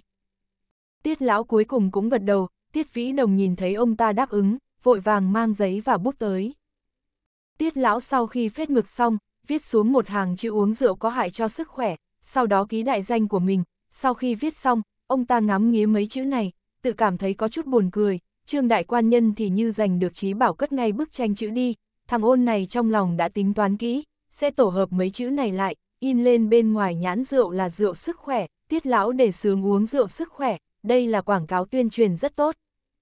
Tiết Vĩ Đồng nói, ông nội, ông nói thì dễ nghe nhưng bản thân thì lại không làm được. Trương Dương nói, thật ra năng lực thích ứng với cồn của mỗi người khác nhau, có cao có thấp, không cần thiết phải quá nghiêm khắc, bắt ai cũng phải kiêng rượu. Tiết lão nói, lời này không sai, bác sĩ cũng nói, uống rượu với số lượng vừa phải thì có lợi cho sức khỏe, ông uống rượu cả đời, sức khỏe không phải vẫn rất tốt sao. Tiết Vĩ Đồng nói, uống rượu làm tổn hại tới gan, đạo lý đơn giản như vậy mà ông cũng không biết à. Khi bọn họ đang nói chuyện thì bên ngoài bỗng nhiên truyền đến một tiếng thét kinh hãi, người đâu tới nhanh. Mấy người đều ngây ra, Tiết Vĩ Đồng xông ra ngoài đầu tiên, Trương Dương ngay sau đó cũng chạy ra theo, thật ra theo lý thuyết thì tốc độ của hắn so với Tiết Vĩ Đồng thì nhanh hơn rất nhiều, có điều đây dù sao cũng là đang ở Tiết ra, hắn không thể có biểu hiện cái gì cũng giành trước. Ra tới bên ngoài thì nhìn thấy Tiết Anh Hồng đang nằm trên bậc thang ôm bụng. Sắc mặt tái nhợt đang la hét. Tiết Vĩ Đồng bước nhanh đến bên cạnh cô ta, quan tâm nói cô, cô sao vậy? Tiết Anh Hồng ôm bụng, trên trán đã đầy mồ hôi lạnh, nước mắt cũng sắp chảy ra rồi, cô, cô không cẩn thận bị ngã. Bụng đau quá, đau quá, hỏng rồi, cô hình như xuất huyết rồi. Tiết Anh Hồng kết hôn đã nhiều năm, cuối cùng cũng có bầu, đối với tiểu sinh mệnh sắp ra đời này rất là coi trọng. Cô ta không phải lo lắng tới an nguy của mình, mà quan tâm nhất tới thai nhi trong bụng, hiện tại cảm thấy đau bụng vô cùng, thai nhi trong bụng hoạt động rất ghê, Tiết Anh Hồng sợ đến nỗi không biết phải làm gì, run giọng nói cứu nó, cứu nó. Tiết Vĩ Đồng dù sao cũng là con gái chưa kết hôn, gặp phải loại trường hợp này cũng không biết nên làm thế nào cho phải. Tiết Lão chạy ra theo, lớn tiếng nói, mau lái xe đưa tới bệnh viện. Trương Dương nói, hiện tại đưa đến bệnh viện chỉ sợ không còn kịp rồi. Hắn đi nhanh tới bên cạnh Tiết Anh Hồng, vươn tay ra liên tiếp điểm trúng mấy chỗ huyệt đạo trên thân thể của cô ta, sau đó một tay cầm mạch môn của Tiết Anh Hồng, một tay đặt trên bụng cô ta, nhìn vào hai mắt của Tiết Anh Hồng, mỉm cười nói cô, cô có tin cháu không? chương 1442, cộng 946, bán nhân tình, 2. Tiết Anh Hồng chỉ cảm thấy thân thể đang đau đớn bỗng nhiên đỡ hơn rất nhiều, cô ta nhìn Trương Dương, từ trong ánh mắt ấm áp của hắn tìm được sự tín nhiệm, cô ta gật đầu, đây khẩn cầu nói, Trương Dương, cậu nhất định phải giúp tôi.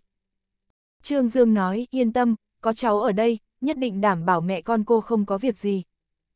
Tiết lão có chút kinh ngạc nhìn tình cảnh trước mắt, ông ta thật sự không nghĩ thông, người thanh niên này rốt cuộc có năng lực như thế nào mà làm con gái mình tin tưởng như vậy. Trương Dương rất cẩn thận ôm lấy Tiết Anh Hồng, dưới sự chỉ dẫn của Tiết Vĩ Đồng đưa Tiết Anh Hồng về phòng của cô ta, trên mặt đất mà Tiết Anh Hồng vừa nằm có một vũng máu.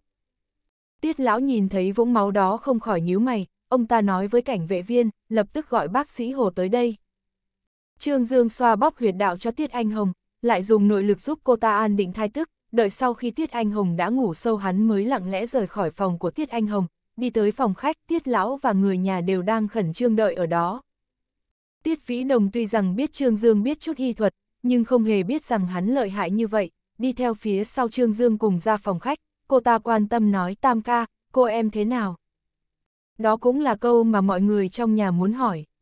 Trương Dương nói, động thai, thai nhi không sao, có điều cô Tiết thì không may mắn như vậy, xương chậu của cô ấy hiện vết dạn, cần phải nằm yên trên giường thời gian. Những lời này của Trương Dương không hề khiến tâm tình của người nhà Tiết ra yên ổn, cho tới khi bác sĩ Hồ đến, sau khi kiểm tra cho Tiết Anh Hồng, xác định mẹ con Tiết Anh Hồng bình an, mọi người mới yên lòng. Tiết Anh Hồng bởi vì vô ý trượt cầu thang, mất không ít máu, tình cảnh lúc đó khiến mọi người sợ hãi, hiện tại nghe thấy thai nhi đã bình an, đều cảm thấy may mắn vô cùng. Tiết lão tuy rằng đã trải qua vô số sóng gió, vừa rồi bởi vì chuyện của con gái nên cũng có chút rối loạn, có câu quan tâm ắt sẽ loạn, lúc này bình tĩnh trở lại lại, mới nhớ tới cảm ơn Trương Dương. Trương Dương cười nói, tiết lão quá khách khí rồi, thật ra tôi cũng không giúp đỡ được gì cả, là tạo hóa của bản thân cô Tiết. Thái độ khiêm tốn không kể công của Trương Đại Quan Nhân lập tức giành được hào cảm của Tiết Lão. Ông ta mời Trương Dương ở lại ăn cơm chiều, điều này khiến cho Trương Đại Quan Nhân hơi có chút thụ sủng nhược kinh.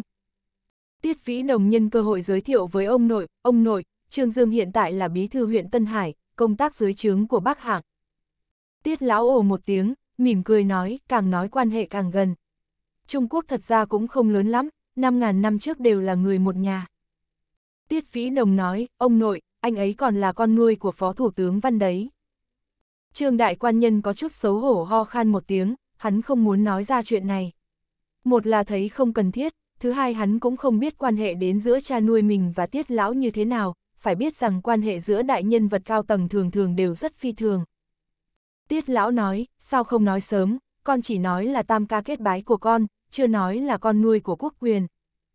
Trương Dương nghe ông ta gọi cha nuôi của mình là quốc quyền, xem ra quan hệ cũng rất thân với văn quốc quyền, hắn cười nói tôi lần này đến Kinh Thành vẫn chưa gặp cha nuôi của tôi. Tiết lão nói tôi cũng đã lâu rồi chưa gặp anh ta, anh ta bận việc quốc gia, một lão nhân hưởng thụ cuộc sống về hưu như tôi cũng ít có cơ hội gặp mặt hơn trước đây. Ông ta cảm thán. Trương Dương bảo Tiết Vĩ Đồng mang giấy mực cho hắn, hắn viết một phương thuốc an thai cho Tiết Anh Hồng, khi Trương Dương kê phương thuốc, bác sĩ Hồ cũng từ trong phòng Tiết Anh Hồng đi ra, cô ta đã hỏi rõ chuyện xảy ra vừa rồi, trước tiên nói với Tiết Lão về tình huống của Tiết Anh Hồng, bên kia Trương Dương đã kê phương thuốc xong, bác sĩ Hồ có chút tò mò ngó sang, cô ta về phương diện Trung Tây Y có nghiên cứu khá tốt, vừa thấy phương thuốc này của Trương Dương lập tức phát hiện được chỗ tinh diệu trong đó. Bác sĩ Hồ có chút không dám tin quan sát Trương Dương, rất khó tin một người thanh niên không ngờ là lại là Trung Y sư tạo nghệ thâm hậu, Bác sĩ Hồ nói, đây là phương thuốc thuốc dưỡng thai à? Trương Dương ngẩng đầu lên, nhìn thấy bác sĩ Hồ mặc áo blue trắng, mỉm cười nói mỉm cười nói, đúng vậy, phương thuốc này là tổ truyền của nhà chúng tôi, bác sĩ Hồ thấy có chỗ nào không ổn thì vui lòng chỉ cho. Bác sĩ Hồ nói, phương thuốc rất tốt, phương thuốc cao minh như vậy tôi không kê được, không ngờ cậu trẻ tuổi như vậy mà lại có nghiên cứu về trung y tinh thâm đến thế. Trương Dương cười nói, bác sĩ Hồ quá khen rồi, tôi cũng chỉ là có được mấy bí phương tổ truyền, học được chút châm cứu xoa bóp, sao có thể xứng với hai chữ tinh thâm này. Tiết Vĩ Đồng ở bên cạnh nói, bác sĩ Hồ, cô tôi luôn nói phần hông rất đau, Trương Dương nói là xương chậu bị giãn, cô thấy sao? Bác sĩ Hồ nói, căn cứ vào bệnh trạng thì có thể là xương chậu đã gãy, muốn chẩn đoán chính thì cần phải chụp x-quang, nhưng cô ta lại đang mang thai, không thích hợp kiểm tra có tính phóng xạ, cho nên chỉ có thể trị liệu bảo thủ. Trương Dương nói, xương chậu gấy cũng không sao, tổ tiên của tôi có bí phương, lát nữa tôi sẽ kê, trong vòng một tuần đảm bảo sẽ khỏi hẳn. Bác sĩ Hồ nhìn Trương Dương với vẻ không thể tin nổi, nghĩ thầm thằng ôn này đúng là giỏi khoác lác, thương gân động cốt cần 100 ngày, cậu trong vòng một tuần có thể chữa khỏi gãy xương, cho mình là thần y chắc. Người trẻ tuổi này không phải là hạng giang hồ lừa bịp chứ. Nhưng nhìn Trương Dương tựa hồ rất thân với Tiết Gia, kể cả không nói tới quan hệ cụ thể của hắn với tiết gia rốt cuộc như thế nào, giang hồ thuật sĩ bình thường cũng không dám chạy đến tiết gia mà lừa đảo, trừ phi hắn không muốn sống nữa. Bác sĩ Hồ đối với tình huống trước mắt của Thiết Anh Hồng trừ trị liệu tính dưỡng bảo thủ ra thì cũng không có đề nghị khác, cô ta đã không có biện pháp, cho nên cũng không có tư cách nói gì, vì để ổn thỏa, bác sĩ Hồ hôm ấy cũng không rời khỏi Thiết gia, ở bên cạnh Tiết Anh Hồng 24 phần 24, dựa theo cách nói của cô ta, trong 24 tiếng đồng hồ thai nhi không có gì dị thường thì như vậy hai mẹ con sẽ không có vấn đề gì. Tiết lão vô cùng quan tâm chuyện của con gái, trong con cái của ông ta chỉ có Tiết Anh Hồng là không hậu đại, kết hôn đã hơn 10 năm, cuối cùng cũng mang thai, không ngờ lại xảy ra biến cố này, buổi tối khi ăn cơm, Tiết lão vẫn có chút không yên lòng, một là vì sức khỏe của con gái, hai là vì y thuật của Trương Dương. Ông ta cũng không tin Trương Dương có y thuật thần hồ kỳ kỹ gì cả, đầu bếp của Tiết ra nướng một bàn món cay tứ xuyên, rượu thì dùng Đại Minh Xuân mà Trương Dương mang đến. Nếu không phải nhân duyên trùng hợp, Trương Đại Quan Nhân không có cơ hội ngồi cùng một bàn ăn cơm với Tiết Lão, tiết lão uống một ngụm rượu, khen, rượu này quả thực không tồi. Trương Dương nói, uống không ngon thì tôi cũng không dám mang đến trước mặt ngài để bêu xấu. Trong lòng lại bắt đầu cân nhắc xem có nên nghĩ biết pháp để tiết lão hỗ trợ viết ba chữ Đại Minh Xuân hay là. Tiết lão bật cười, nói, không ngờ cậu còn biết trung y.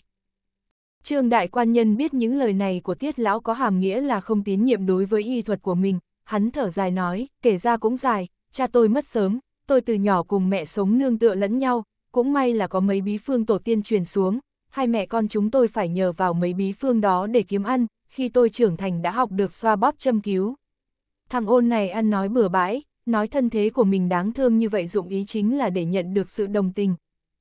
Có điều hiệu quả khá rõ rệt, tiết lão không khỏi nhìn Trương Dương thêm một cái, trước đây ông ta luôn cho rằng Trương Dương là con trai của một quan viên nào đó, nhưng không ngờ thằng ôn này cũng xuất thân cùng khổ. Tiết lão mỉm cười nói, cậu sao lại làm quan?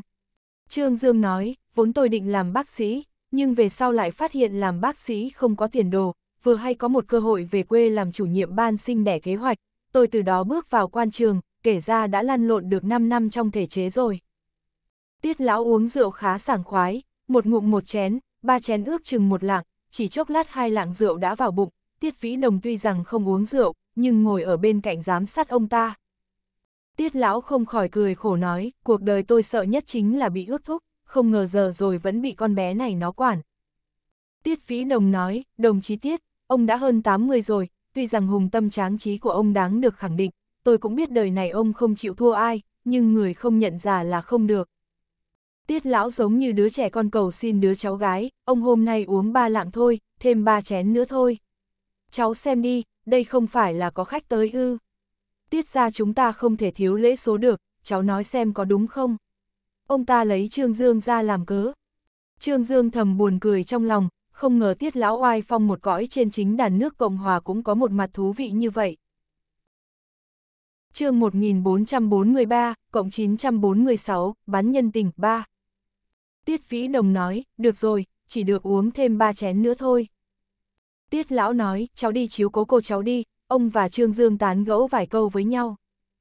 Tiết Vĩ Đồng có chút bất đắc dĩ nhìn ông nội, lắc đầu rồi sau đó nói với Trương Dương, Tam ca, em giao ông nội cho anh, anh giúp em coi chừng ông nhé, uống thêm một chén cũng không được đâu đấy. Trương Dương cười cười đáp ứng.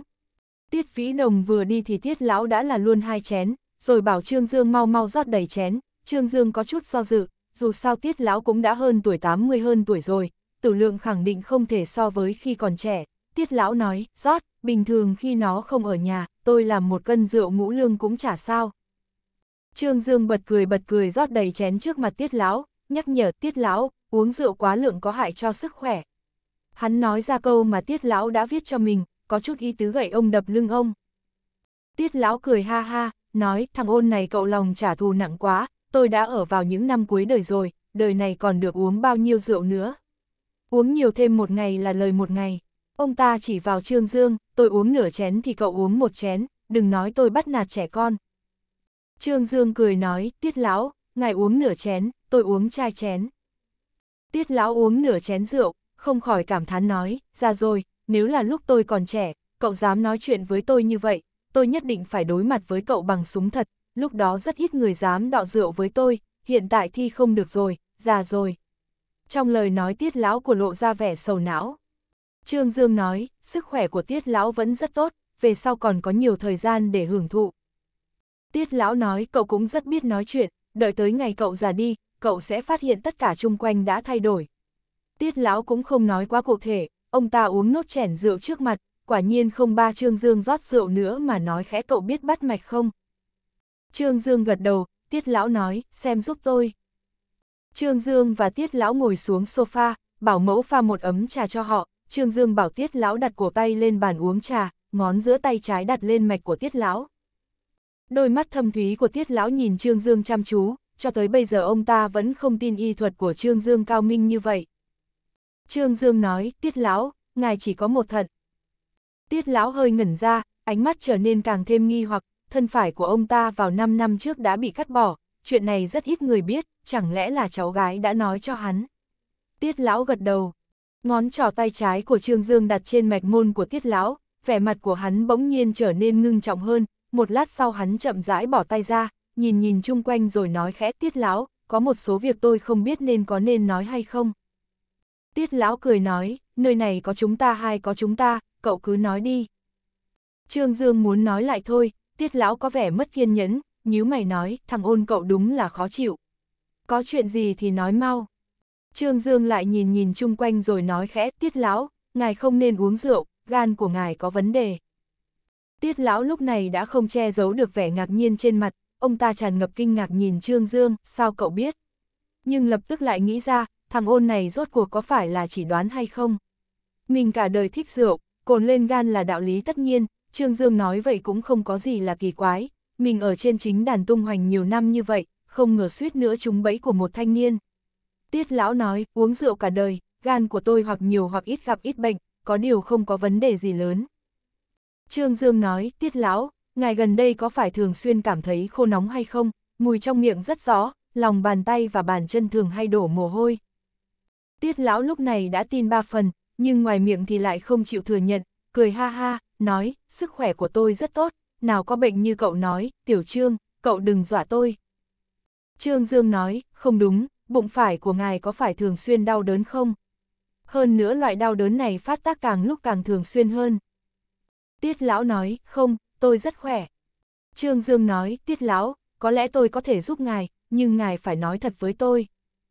Tiết lão nhếch nhếch miệng, lúc này ông ta mới thực sự ý thức được người thanh niên trước mắt rất không đơn giản, nếu hắn chỉ en soi bừa, tuyệt đối không thể nói bệnh trạng của mình rõ như vậy, tiết lão quan sát Trương Dương cả nửa ngày vẫn không nói gì. Trương Dương biết lão nhân này tính tình đa nghi, bệnh chứng mà mình nói không có chút khoa trương nào, có điều hắn và tiết lão là lần đầu tiên gặp mặt, vị lão nhân này hiển nhiên chưa tin tưởng hắn. Một hồi lâu tiết lão bỗng nhiên nói khẽ, theo cậu thì tôi còn có thể sống được bao lâu? Nếu những lời này để người ngoài nghe thấy, khẳng định sẽ kinh ngạc vạn phần, nhưng Trương Dương thì không cảm thấy ngạc nhiên chút nào, hắn nói khẽ tiết lão muốn nghe tôi nói thật hay nói dối. Tiết lão nói, tất nhiên là nói thật rồi. Trương Dương vươn ba ngón tay ra rồi nói, sẽ không vượt qua được ba tháng. Trên mặt tiết lão lộ ra vẻ mất mát, ông ta thở dài nói, xem ra tôi trung quy vẫn không thấy được cháu ngoại của tôi rồi. Những lời này của tiết lão chứng tỏ ông ta biết rất rõ bệnh của mình. Chỉ có điều chuyện này vẫn giấu người nhà, tiết lão giữ bí mật này rất tốt. Cho dù là người nhà suốt ngày sinh hoạt với ông ta cũng không biết được chút nào. Lúc này bảo mẫu tới rót nước, Trương Dương nói, tiết lão, nơi này nói chuyện không tiện. Chúng ta có thể đổi chỗ khác không? Tiết lão gật đầu, tới phòng ngủ của tôi nói chuyện. Trương đại quan nhân và tiết lão chỉ vừa quen nhau. Tiết lão hôm nay chẳng những mời cơm chiều, hơn nữa còn mời hắn tới phòng ngủ, đối với những người khác thì chỉ nói là để Trương Dương giúp ông ta mát xa, trên thực tế tiết lão lại có bí mật cực lớn muốn nói với Trương Dương. Tới phòng tiết lão, tiết lão mở ngăn kéo bàn làm việc, lấy ra một bệnh lịch, ông ta không lập tức đưa cho Trương Dương mà nói khẽ cậu hiểu bao nhiêu về bệnh tình của tôi. Trương Dương nói, tôi vừa mới bắt mạch cho tiết lão, phát hiện phần gan của tiết lão bị ứ máu không thông. Phần gan của ngài chắc có khối u. Vẻ mặt của tiết lão vô cùng chấn định, ánh mắt của ông ta tràn ngập vẻ ngạc nhiên, tuy rằng vừa rồi Trương Dương cũng đã nói ra bệnh chứng của ông ta, nhưng dù sao cũng không nói quá tường tận, Trương Dương chỉ bằng vào bắt mạch có thể nói chuẩn bệnh chứng của ông ta như vậy. Điều này khiến tiết lão tin phục y thuật của Trương Dương thêm vài phần. Ông ta nói khẽ một tuần trước tôi đi kiểm tra sức khỏe, phát hiện ở gan có khối u, căn cứ vào kiểm tra thì đó là khối u ác tính. Ông ta dừng một chút rồi nói khẽ tôi bị ung thư gan. Trương Dương đã sớm có chuẩn bị tâm lý, hắn đi về phía trước vài bước, từ trong tay tiết lão tiếp lấy bệnh lịch của ông ta, đọc kỹ lại tư liệu một lần. Tiết lão nói, bác sĩ cho tôi một đề nghị, nhanh chóng phẫu thuật, sau đó tiến hành trị liệu phóng xạ, có điều bọn họ cũng không giấu tôi, căn cứ vào tình huống hiện tại của tôi thì phẫu thuật là rất mạo hiểm, không ai dám đảm bảo sau khi phẫu thuật không xuất hiện di căn. Trương Dương không nói gì, lặng lặng đặt bệnh lịch của tiết lão lên bàn, hắn hôm nay đến tiết ra vốn là muốn nhờ tiết lão để chữ cho nhà máy rượu Giang Thành, nhưng không ngờ trước tiên gặp tiết anh hồng trượt chân ngã, sau đó lại trong lúc vô ý phát hiện bí mật tiết lão bị bệnh nặng, xem ra trời cao đã chú địch hắn có quan hệ với tiết gia, có chạy cũng không thoát. Tiết lão nói, chuyện này tôi vẫn chưa nói cho bọn họ, tôi đã hơn 80 rồi, chuyện nên làm cũng đã làm rồi, tôi rất do dự, tôi có thể tiếp nhận cái chết trên chiến trường, chết trên cương vị công tác, thậm chí chết trong nhà, nhưng tôi chỉ độc không tiếp nhận phải chết trên bàn phẫu thuật. Trương Dương nói, tình huống chưa chắc đã xấu như ngài nghĩ. Tiết lão nói, vừa rồi bệnh trạng mà cậu nói vô cùng chuẩn xác, từ sau khi chẩn đoán chính xác, không biết có phải vì tâm lý hay không, bụng của tôi càng lúc càng đau hơn, chỉ có uống rượu mới đỡ đau hơn một chút. Ông ta cười khổ nói, tôi uống rượu cả đời, ít nhiều gì thì cũng uống ra bệnh. Trương Dương vươn tay ra, lại đặt trên mặt mạch môn của tiết lão, hắn đưa một dòng chân khí vào trong kinh mạch của tiết lão rồi dọc theo kinh mạch của tiết lão chạy một vòng, tiết lão cảm thấy một dòng khí ôn hòa truyền vào trong cơ thể mình, giống như có một cái con rắn nhỏ đang hành tẩu trong cơ thể, qua chừng 5 phút đồng hồ thì Trương Dương thả cổ tay tiết lão ra. Tiết lão nói cậu nếu đã nhìn ra bệnh tình của tôi, tôi cũng không giấu cậu, có điều, tôi hy vọng cậu có thể giữ bí mật này, tôi không muốn để người nhà lo lắng. Trương Dương nói, tiết lão, ngài nên tích cực trị liệu, đã suy nghĩ kỹ chưa? Tiết lão lắc đầu nói, những chuyên gia y học nhất lưu của chúng ta và quốc tế đã tiến hành hội trần về bệnh tình của tôi, tình huống của tôi không được lạc quan, khả năng phẫu thuật thành công không đến 10%, theo như cách nói vừa rồi của cậu, tôi tối đa còn sống được 3 tháng nữa, nếu tôi lựa chọn phẫu thuật, sợ rằng tôi không sống được tới 3 tháng. Trương Dương nói, tôi nói ngài nhiều nhất còn có 3 tháng sinh mệnh, đó là dưới điều kiện tiên quyết tích cực trị liệu. chương 1444, ân cần dạy bảo một. Tiết lão nói, cậu đề nghị tôi phẫu thuật. Trương Dương lắc đầu, tình huống của ngài cũng không thích hợp phẫu thuật, hơn nữa căn cứ vào tình huống mà tôi nắm được, thân thể của ngài chỉ sợ không chỉ tồn tại vấn đề ở gan. Tiết lão nói, nói như vậy, tôi chỉ còn đường chết. Ông ta cũng không sợ chết, trong những ngày này đã nghĩ tới kết quả xấu nhất. Xem ra ông ta phải triệu tập con cháu về bên cạnh, dặn dò hậu sự. Trương Dương nói, thứ cho tôi nói thẳng, nếu ngài không gặp tôi thì quả thực là như vậy, nhưng hiện tại ngài đã gặp tôi. Tiết lão nhìn thẳng vào hai mắt của Trương Dương, không biết thằng ôn này kế tiếp sẽ nói gì. Trương Dương nói, tôi có thể cứu ngài, để ngài sống khỏe mạnh thêm 30 năm thì tôi không dám nói, có điều năm 3 năm thì chắc không có vấn đề gì. Tiết lão nửa tin nửa ngờ những lời này của Trương Dương, ông ta nói khẽ thật ư.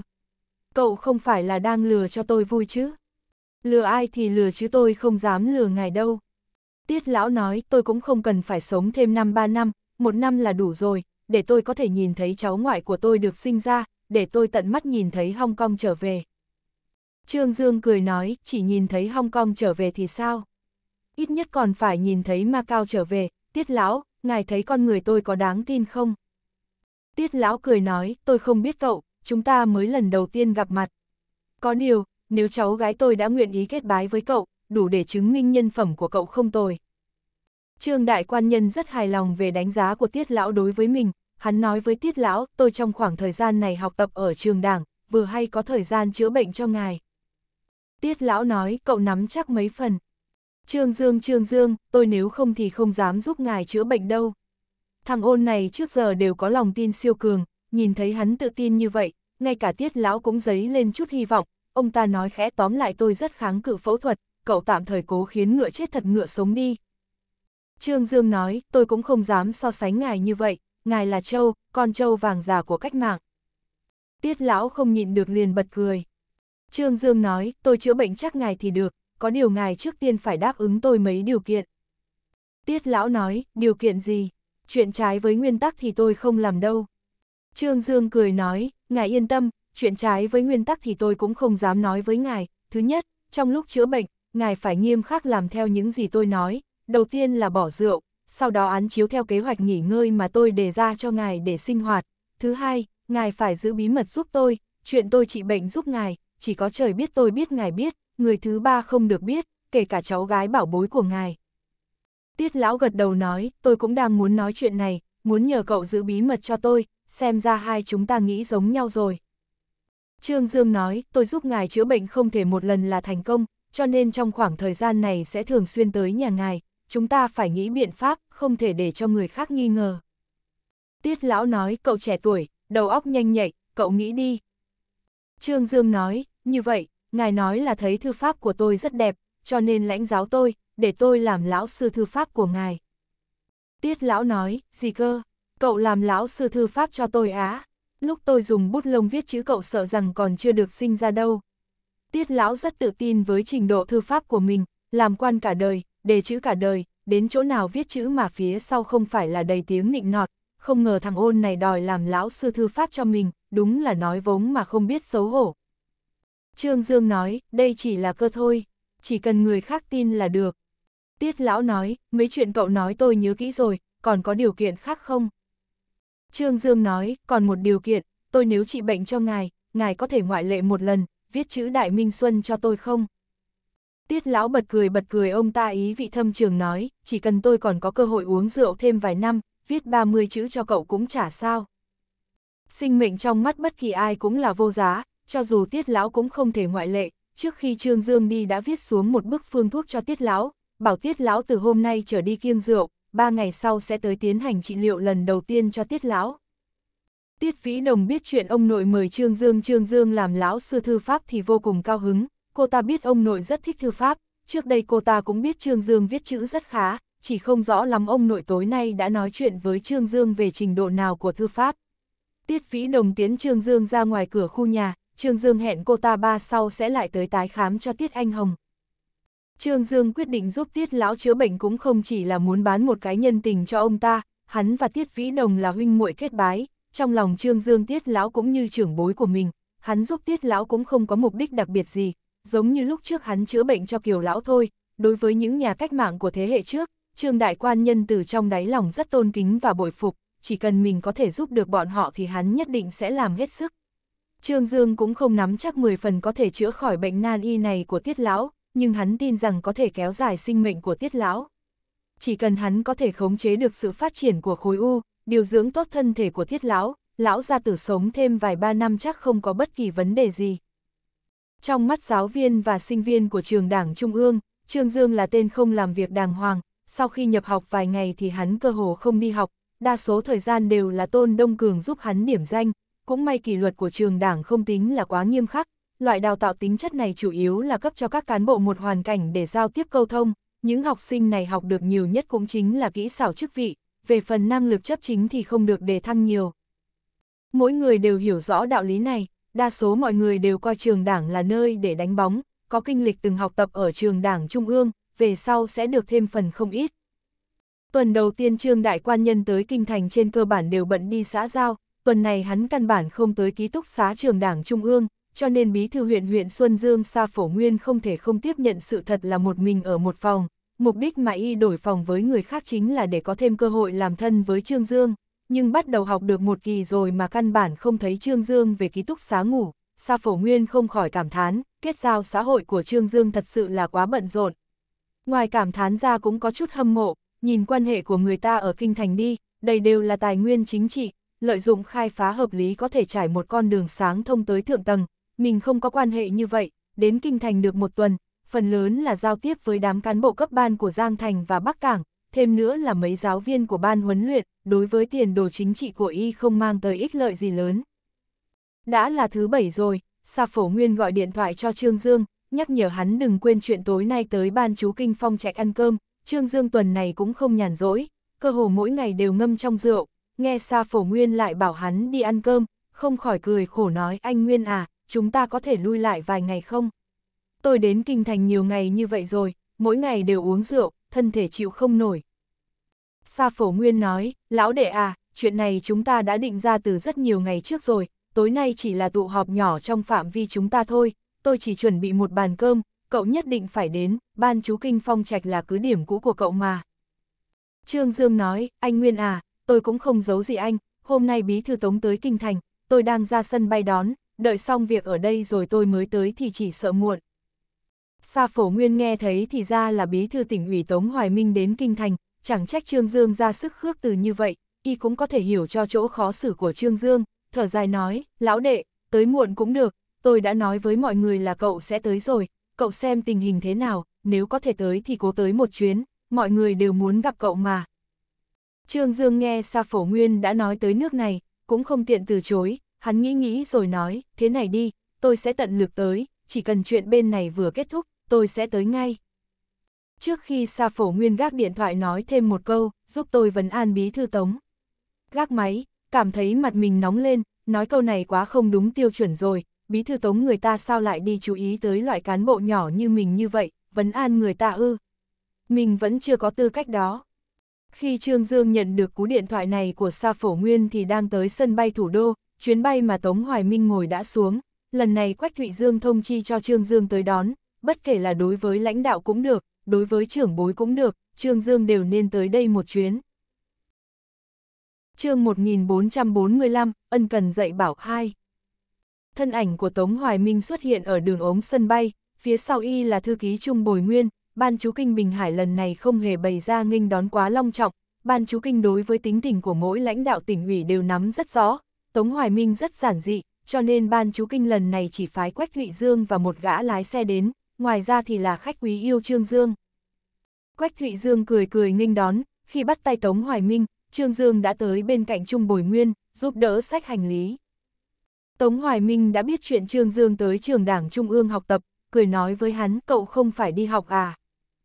Trương Đại Quan Nhân cũng không tiện nói rằng mình căn bản chẳng đi học nổi mấy tiết, hắn mỉm cười nói, Bí thư Tống, hôm nay là thứ bảy, trường học cho nghỉ. Ở trường hợp công chúng, Trương Dương trước giờ đều dùng quan chức để xưng hô với Tống Hoài Minh. Tống Hoài Minh gật đầu, y không định ở lại sân bay, xài bước về phía bãi đỗ xe. Quách Thụy Dương đi trước dẫn đường. Sau khi lên xe Toyota thương vụ, Tống Hoài Minh cởi bỏ hai cúc áo ở cổ áo, tựa lưng vào ghế ngồi, thở phào nói, Thủy Dương, chuyện tôi bảo cậu làm đến đâu rồi? Quách Thụy Dương cung kính nói, đã làm xong rồi. Tống Hoài Minh gật đầu, y quay sang nói với Trương Dương, học tập có vất vả không? Trương Dương nói, vẫn ổn. Học gì? Trương Đại Quan Nhân bị hỏi cho ngây ra, ạc. Tống Hoài Minh đầy ý vị thâm trường cười nói, thằng nhóc cậu cậu chắc không phải cả ngày trốn học chứ hả? Trương Đại Quan Nhân nghĩ thầm, đúng là bố vợ của mình, hiểu con rể đến vậy cơ đấy, hắn còn chưa kịp trả lời thì bên kia Quách Thụy Dương đã bật cười ra tiếng, y cười như vậy chẳng khác nào gián tiếp chứng nhận suy đoán của Tống Hoài Minh. Trương Dương có chút bất mãn nhìn Quách Thụy Dương một cái, nghĩ thầm nếu là trước giải phóng, Quách Thụy Dương này nhất định sẽ thành phản đồ, chưa gì đã bán đứng mình rồi. Tống Hoài Minh nói, phải biết quý trọng cơ hội học tập lần này, đừng có mà không nghiêm túc. Trương Dương nói, tôi rất nghiêm túc, có điều vừa tới kinh thành, chủ nhiệm Quách đối với tôi quá nhiệt tình, luân phiên tẩy trần cho tôi, tôi không thể từ chối được. Quách Thụy Dương cười khổ, lòng trả thù của thằng ôn này nặng thật, chỉ chớp mắt đã bán đứng mình rồi. Tống Hoài Minh cười cười lắc đầu, y biết Trương Dương nói thật, đám người này của ban chú kinh đều biết quan hệ của Trương Dương và mình, đối với Trương Dương tất nhiên là luôn nịnh bợ, đón gió cho hắn cũng là chuyện thường tình. Tống Hoài Minh nói, xem ra cậu rất được hoan nghênh. Quách Thụy Dương nói, Tiểu Trương trước đây từng công tác ở ban chú kinh Xuân Dương, toàn bộ hệ thống của ban chú kinh đối với cậu ta đều rất quen thuộc, thành tích công tác của cậu ta năm đó cũng khá xuất sắc, ở chung với mọi người cũng rất không tồi. Vừa nói đỡ cho Trương Dương cũng vừa nhắm vào những lời mà lúc nãy hắn vừa xỉa sói mình. Y vốn lo Tống Hoài Minh sẽ bởi vì mình quá mức ân cần với Trương Dương mà tức giận, nhưng nhìn thấy vẻ mặt Tống Hoài Minh vẫn như thường, không hề có bất kỳ điều gì khác thường thì mới yên lòng. Quách Thụy Dương nói, Bí thư Tống, tối nay có cần nghỉ ngơi một chút không? Tống Hoài Minh lắc đầu nói, buổi tối tôi có hẹn với Phó Thủ tướng Văn. Y nói với Trương Dương, buổi tối cậu có an bài gì không? Trương Dương nói, không, tôi đi với ngài. Tống Hoài Minh cười nói, là tự cậu chủ động muốn đi đấy nhé. Có điều Tống Hoài Minh sau khi tới ban chú kinh lại nói với Trương Dương rằng không cần hắn đi theo, tối nay y và Văn Quốc Quyền gặp mặt có chuyện muốn thương lượng riêng. Trương Đại Quan Nhân lập tức hiểu được cấp bậc của mình rõ ràng vẫn chưa tới loại gặp mặt cao tầng này, hắn cũng không muốn đi, dẫu sao loại trường hợp này sẽ khiến hắn cảm thấy câu thúc, không khéo mấy vị trưởng bối còn luân phiên thuyết giáo hắn. Tống Hoài Minh hỏi hắn chuyện Tân Hải xin bỏ huyện lập thành phố. Trương Dương nói, tôi lần này sở dĩ đáp ứng ra ngoài học tập cũng là vì chuyện này, tôi muốn trong khoảng thời gian này học tập chứng thực chuyện bỏ huyện lập thành phố này. Tống Hoài Minh cười nói, cậu tới Tân Hải chưa được bao lâu mà đã làm ra không ít chuyện rồi. Chuyện bỏ huyện lập thành phố cậu vì sao không đưa đơn xin lên thị lý trước. Công tác trong thể chế cũng không phải là mới một năm hai năm, trình tự tối thiểu mà cậu cũng không biết à. Trương Dương nói, làm việc gì cũng theo trình tự thì hiệu suất quá thấp. Thời gian tới tới Bắc Cảng tuy rằng không dài, nhưng tôi cảm thấy hiệu suất làm việc của quan viên Bắc Cảng quá thấp, nếu tôi đi theo trình tự bình thường, chỉ sợ ngay cả đơn xin bỏ huyện lập thành phố cũng không lên được tới quốc vụ viện. Tống Hoài Minh nói, cậu xem ra có thành kiến rất lớn đối với lãnh đạo thành phố Bắc Cảng. Trương Dương nói, không phải tôi có thành kiến với họ, mà là họ có thành kiến với tôi, nếu lãnh đạo đã phái tôi tới Tân Hải, tôi phải làm ra chút thành tích cho mọi người thấy, nếu không thì tôi cô phụ sự kỳ vọng của ngài đối với tôi rồi. Tống Hoài Minh nói, tân quan thượng nhiệm đốt ba bó đuốc, hy vọng cậu có thể giữ được sức mạnh hiện tại. Trương Dương nói, tôi vừa mới định đốt bó đầu tiên thì cấp trên đã hắt nước lên đầu tôi rồi, tôi cảm thấy bọn họ luôn chế tạo chướng ngại cho tôi. Sự thật chứng minh, đắc tội với Trương Dương là không có kết cục tốt, người ta là con rể tương lai của bí thư tỉnh ủy, muốn cáo trạng cũng rất không tiện. Tống Hoài Minh nói, đừng vừa xảy ra chuyện đã nghĩ tới nguyên nhân của người khác, làm chuyện gì cũng phải cân nhắc tới sự thiếu sót của bản thân mình, có phải là cậu có chỗ nào không làm được, chưa suy xét chu toàn không, làm quan không chỉ phải chú trọng nghệ thuật quản lý, quan hệ với đồng sự cũng là một môn học vấn khá quan trọng. Trương Dương nói, chú Tống, tôi cũng muốn quan hệ tới với họ lắm, nhưng người ta luôn coi tôi như ngọa tộc, mỗi một chuyện mà tôi làm bọn họ đều cho rằng không bình thường. Tống Hoài Minh bật cười, làm việc không thể nóng vội, cậu muốn người khác tiếp nhận cậu thì phải làm nhiều chuyện một chút, mau chóng làm ra thành tích, tranh thủ sự công nhận của mọi người. Trương Dương nói, tôi làm rồi, mượn chuyện lần này mà nói, Cục Khoa học Kỹ thuật của chúng tôi nghiên cứu chế tạo ra hệ thống đèn đường nạp bằng năng lượng mặt trời, hạng mục tốt như vậy, tôi đương nhiên nghĩ rằng nước phù sa không để chảy ra ruộng người ngoài, trước tiên tìm lãnh đạo thành phố Bắc Cảng để thương lượng, nhưng người ta lại khen ngược, nhìn tôi như không phải là con người, giống như tôi dắp tâm chiếm tiện nghi của họ vậy, tài chính của Tân Hải khẩn trương như vậy, Bắc Cảng thân là thành thị thượng cấp dù sao cũng phải trong thời khắc mấu chốt chia tay ra giúp chứ. Khi tôi cần dùng tiền người ta không để ý tới, quả thực là coi tôi như mẹ vợ vậy, bọn họ đã không quản tôi thì thôi đừng quản nữa, tình huống hiện tại là không muốn hỗ trợ, lại còn đi theo sau khoa tay múa chân, chú nói xem có đáng ghét không. Tống Hoài Minh nói, cho nên cậu muốn mau chóng làm xong chuyện bỏ huyện lập thành phố, gia tăng quyền lực trong tay, giảm bớt sự ước thúc của phía Bắc Cảng đối với cậu. Trương Đại Quan Nhân vội vàng lắc đầu nói, chú Tống, tôi không phải muốn vậy, tôi đã trưởng thành rồi, lòng dại không hẹp hòi vậy đâu, tôi sở dĩ muốn làm chuyện bỏ huyện lập thành phố nguyên nhân căn bản vẫn là vì nghĩ cho sự phát triển trong tương lai của Tân Hải, chú đứng cao hơn tôi, nhìn cũng xa hơn tôi, lợi ích của bỏ huyện lập thành phố đương nhiên không cần tôi phải nhiều lời.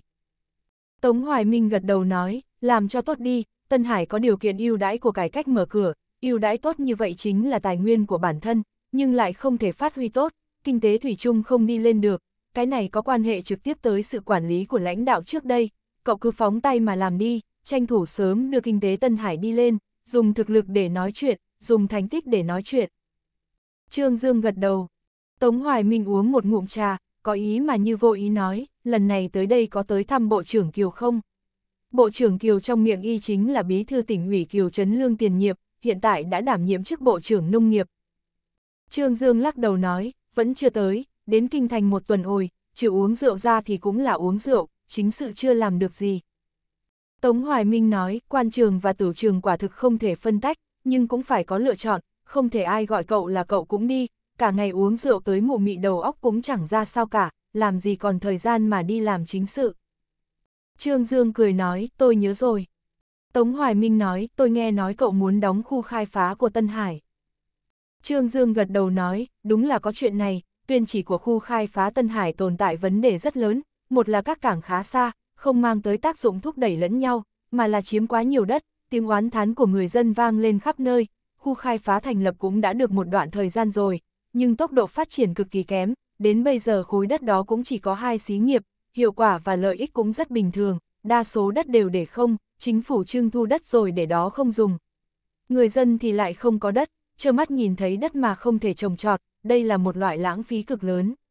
Tôi ở phía Tây Bắc Cảng chọn được một khu đất không có hoa màu, cũng không có nhân khí gì, tôi không phải là muốn đóng khu khai phá mà là muốn di chuyển chỉnh thể khu khai phá, trả lại ruộng tốt cho người dân, tránh lãng phí tài nguyên chương 1446, ân cần dạy bảo ba.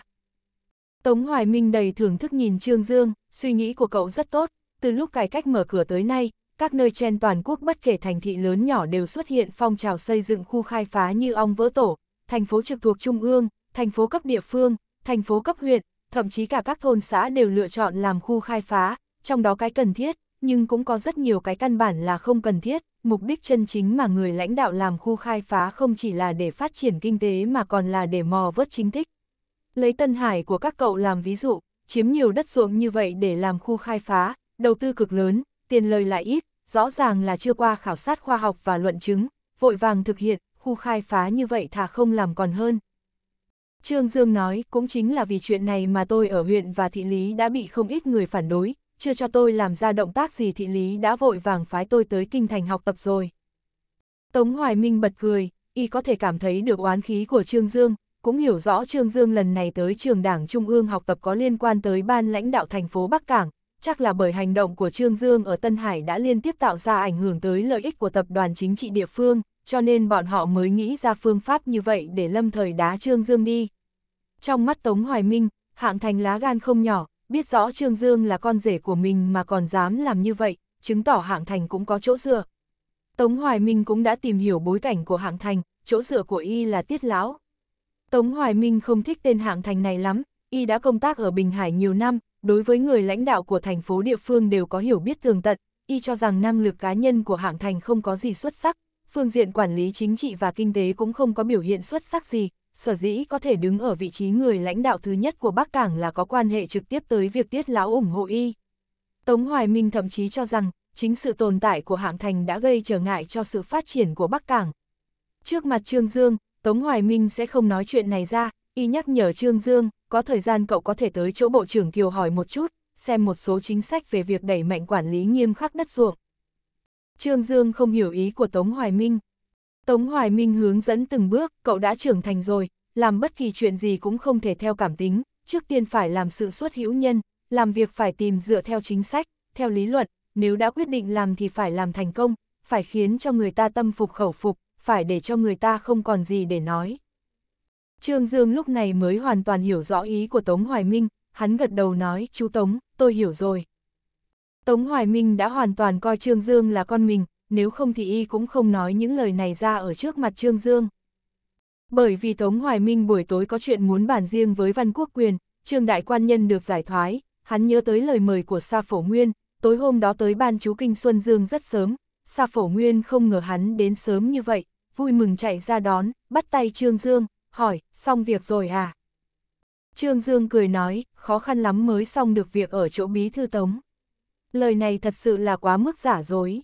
Có điều Sa Phổ Nguyên nghe rất bình thường, y cho rằng Trương Dương có tư cách nói những lời này, người ta không tiếp bố vợ tương lai mà chạy đi phó ước, đã đủ nể mặt mình rồi. Chủ nhiệm đương nhiệm của ban chú Kinh Xuân Dương là Lịch Kiện Toàn, trước đây khi Trương Dương đảm nhiệm chức chủ nhiệm ban chú Kinh Xuân Dương, gã cũng chỉ là đại biểu thường trú của Cục Thư Tín, cũng coi như là cấp dưới cũ của Trương Dương, nhìn thấy Trương Dương tới, gã tươi cười ra đón, bí thư Trương, ngài còn nhận ra tôi không? Trương Dương nghĩ thầm, trí nhớ của lão tử kém như vậy ư. Ngoài miệng thì cười ha ha nói, lão lịch, anh so với trước đây thì béo hơn rồi, xem ra chất béo ở ban chú Kinh Xuân Dương không ít đâu nhỉ. Lịch kiện toàn cười cười xấu hổ, trước mặt bí thư huyện ủy Sa Phổ Nguyên mặt những lời này của Trương Dương có chút mẫn cảm. Cũng may là Sa Phổ Nguyên không chú ý, cười nói, thức ăn của ban chú Kinh Xuân Dương rất ngon, ít nhất so với đồ ăn của trường đảng Trung ương thì ngon hơn nhiều. Lúc này Tôn Đông Cường và nấy đồng học của trường đảng khác đều tới, nhìn thấy Trương Dương, Tôn Đông Cường kinh ngạc nói, Bí thư Trương, tôi cho rằng anh hôm nay sẽ đến muộn chứ, không ngờ so với chúng tôi còn sớm hơn. Trương Dương cười nói, tôi luôn luôn đúng giờ mà. Lúc này một chiếc xe Audi màu đen lái vào sân của ban chú Kinh Xuân Dương, người tới là chủ nhiệm Lưu Trí Vũ của ban chú Kinh Giang Thành và phó chủ nhiệm Lâm Uyển, còn có một người mà Trương Dương quen biết đã lâu, phó chủ nhiệm Vu Tiểu Đông của ban chú Kinh Xuân Dương trước đây, hiện tại đã là một trong những phó chủ nhiệm của ban chú Kinh Giang Thành. Sa Phổ Nguyên có câu nói không sai, người tối nay đến ăn cơm trên cơ bản đều là người quen. Lưu Trí Vũ và Lâm Uyển trước đây đều là lãnh đạo trực tiếp của Trương Dương, Vu Tiểu Đông thì là cấp dưới của Trương Dương, hiện tại Trương Dương đã là bí thư huyện Tân Hải, trong những người này đa số vẫn dẫm trận tại chỗ. Biểu hiện của mọi người đối với Trương Dương đều rất thân thiết, ai nấy đầu bắt tay nhiệt tình nhắc lại chuyện xưa. Thật ra Trương Dương lúc trước công tác ở ban chú Kinh Xuân Dương không lâu, trong những người này thì hắn thân với Vu Tiểu Đông nhất. Chờ Hàn Huyên với tất cả mọi người xong rồi, Trương Đại Quan Nhân mới bước về phía Vu Tiểu Đông, cười nói, chị Vu, lâu rồi không gặp, trông chị càng ngày càng trẻ. Vu Tiểu Đông không nhịn được liền bật cười, chủ nhiệm Trương vẫn khéo ăn nói như vậy, hơn 30 tuổi rồi, già rồi. Sa Phổ Nguyên mời mọi người tới nhà ăn ngồi. Tuy rằng là ban chú kinh cấp huyện, nhưng tiêu chuẩn chiêu đãi hiển nhiên là không thấp, đồ ăn phong phú thì không cần phải tả kỹ, rượu cũng là mao đài, thuốc là thuốc Trung Hoa, người nghiện thuốc trong quan trường rất nhiều, chỉ lát sau, người trên bàn trừ Trương Dương ra thì tất cả đều thi nhau nuốt khói nhả khói, tuy máy thông khí trong phòng đã bật hết công suất, nhưng bên trong vẫn ngập ngụa khói. Vu Tiểu Đông và Lâm Uyển không khỏi kháng nghị, cuối cùng mọi người đạt thành hiệp nghị, mỗi lần chỉ có thể có hai người cùng hút thuốc. Loại tiểu tràng này Trương Đại Quan Nhân thật sự là không có hứng thú lắm, nhưng hắn không tiện cự tuyệt, dẫu sao mọi người cũng đều là người quen, nếu không tới, người ta sẽ bảo hắn làm quan lớn rồi quên gốc, đặc biệt là đối với Sa Phổ Nguyên, đây chính là quan phụ mẫu của Xuân Dương, ít nhiều cũng phải nể mặt y một chút. Trương Đại Quan Nhân bỗng nhiên phát hiện người ta sống trên đời đa số thời gian đều là vì mặt mũi, bất kể trước đây hay là hiện tại, chuyện phải chú ý khi sống quá nhiều. Bởi vì sự có mặt của hắn, trên mặt Sa Phổ Nguyên tràn ngập vinh quang, ai cũng đều bởi vì sự có mặt của Trương Dương mà cảm thấy vui vẻ. Trương Dương đột nhiên ý thức được, đa số người trong đây đều là vì mình mà tới, nhất cử nhất động của mình đã có thể ảnh hưởng đến tâm tình của rất nhiều người. Thường Hải Long hôm nay tới Kinh Thành, hắn lần này tới đây đặc biệt vì chuyện của Trương Dương, muốn lợi dụng quan hệ của hắn, mời lão sư trình nhuận sinh của hắn thiết kế xanh hóa cho Tân Hải. Hắn đến Kinh Thành đã là 8 giờ tối, Trương Dương bảo hắn trực tiếp lái xe tới ban chú Kinh Xuân Dương. Thường Hải Long đến nơi thì tiệc tối đã gần tàn, trừ Trương Dương ra, những người còn lại đều đã ngà ngà, Sa Phổ Nguyên rất hưng phấn tới bắt tay với Thường Hải Long, y không biết Thường Hải Long, nhưng dựa theo lời y thì bằng hữu của Trương Dương cũng chính là bằng hữu của y. Chủ nhiệm ban chú kinh Giang Thành Lưu Trí Vũ đã uống nhiều, được Vu Tiểu Đông và Lâm Uyển đưa về, Tôn Đông Cường và mấy đồng học trường đảng khác cũng cáo từ. Trong phòng chỉ còn lại có Trương Dương, Sa Phổ Nguyên và Lịch Kiện Toàn. Sa Phổ Nguyên vốn định bảo phòng bếp đưa đồ ăn lên, nhưng Trương Dương cười nói, bí thư Sa, không cần phiền toái vậy đâu, tôi và Hải Long còn có chuyện muốn bàn, chúng tôi về trước. Tuy rằng Sa Phổ Nguyên cực lực giữ lại, nhưng Trương Dương vẫn kiên trì đi cùng Thường Hải Long, hắn nhìn ra Sa Phổ Nguyên đã uống nhiều, nếu ở lại thì khẳng định sẽ phải nghe thằng cha này lải nhải đến sáng. Thường Hải Long chủ động chịu trách nhiệm lái xe đưa Trương Dương rời khỏi ban chú kinh Xuân Dương, hai người đi chưa được bao xa thì Trương Dương đã chỉ vào một quán đổ nướng ven đường, dừng lại, ăn chút gì đã rồi đi. Thường Hải Long gật đầu, hắn đỗ ô tô ở cạnh đó, cùng Trương Dương bước xuống, gọi một cân thịt nước, Trương Dương vốn định đi lấy rượu trong xe thì Thường Hải Long nói, uống bia đi, khát lắm. Lập tức gọi một két bia ở quán. Thường Hải Long thật sự khát, làm liền hai cốc, cười nói, tối nay đám uống rượu với anh là những ai vậy? Hình như đều uống nhiều. Trương Dương nói, đều là một số đồng sự trước đây, có mấy người là lãnh đạo cũ của tôi. Thường Hải Long nói, có thể để cho người khác thực lòng uống rượu với anh cũng không dễ dàng gì, Trương Dương, những người đó đều muốn nịnh bợ anh. Trương Dương bật cười, hắn uống một chén rượu rồi nói, người ta không phải nịnh bợ tôi. chương 1447, câu cá 1 Thường Hải Long nói, không nịnh bợ được bí thư tống thì tất nhiên là phải nịnh bợ anh rồi. Hắn xuất thân từ từ gia đình cán bộ, đối với chuyện trên chính trị so với người thường thì mẫn cảm hơn rất nhiều. Trương Dương cười nói, thật ra loại tiểu tràng này tôi không thích tham gia đâu, nhưng nghĩ rằng mọi người dẫu sao cũng từng quen nhau, con người tôi lại rất nhớ tình bạn cũ. Luôn cảm thấy mở miệng cự tuyệt thì có chút không đành lòng. Thường Hải Long nói, về sau loại chuyện này sẽ nhiều hơn, anh làm quan càng lớn thì gặp loại chuyện này cũng càng lúc càng nhiều. Trương Dương nói, lão gia tử nhà các anh bình thường xử lý mấy vấn đề này như thế nào? Thường Hải Long nói, tôi nhớ rõ cha tôi vừa làm thị trưởng đã phải đi uống rượu rất nhiều. Có điều về sau sức khỏe có vấn đề, ông ấy liền lấy cơ bị phong thấp. Tránh được thì tránh, không tránh được thì vẫn lấy cớ này để không phải uống rượu. Anh tuy rằng giúp ông ấy trị khỏi bệnh phong thấp, nhưng ông ấy cũng không uống rượu. Sau khi làm bí thư thị ủy, tôi cảm thấy ông ấy còn đi ít hơn khi lúc trước nhiều. Trương Dương nói, tôi chính là không biết cự tuyệt, luôn cảm thấy mở miệng cự tuyệt người khác thì quá nhẫn tâm. Thường Hải Long nói, tôi thấy người sống trên đời phải biết cự tuyệt, anh nếu không học được cự tuyệt thì cả ngày sẽ phải sống vì người khác. Người ta rủ anh đi uống rượu thì anh đi, người ta nhờ anh giúp thì anh giúp, nguyên nhân là gì? Nể mặt, đây là điều địa kỵ của người làm quan, không biết cự tuyệt trên ý nghĩa nào đó chính là tính nguyên tắc không mạnh, quan viên mà tính nguyên tắc không mạnh sẽ dễ phạm sai lầm nhất. Trương Dương không khỏi bật cười, nghe anh nói vậy tôi cũng thấy có vài phần đạo lý. Thường Hải Long nói, cái gì mà có vài phần đạo lý?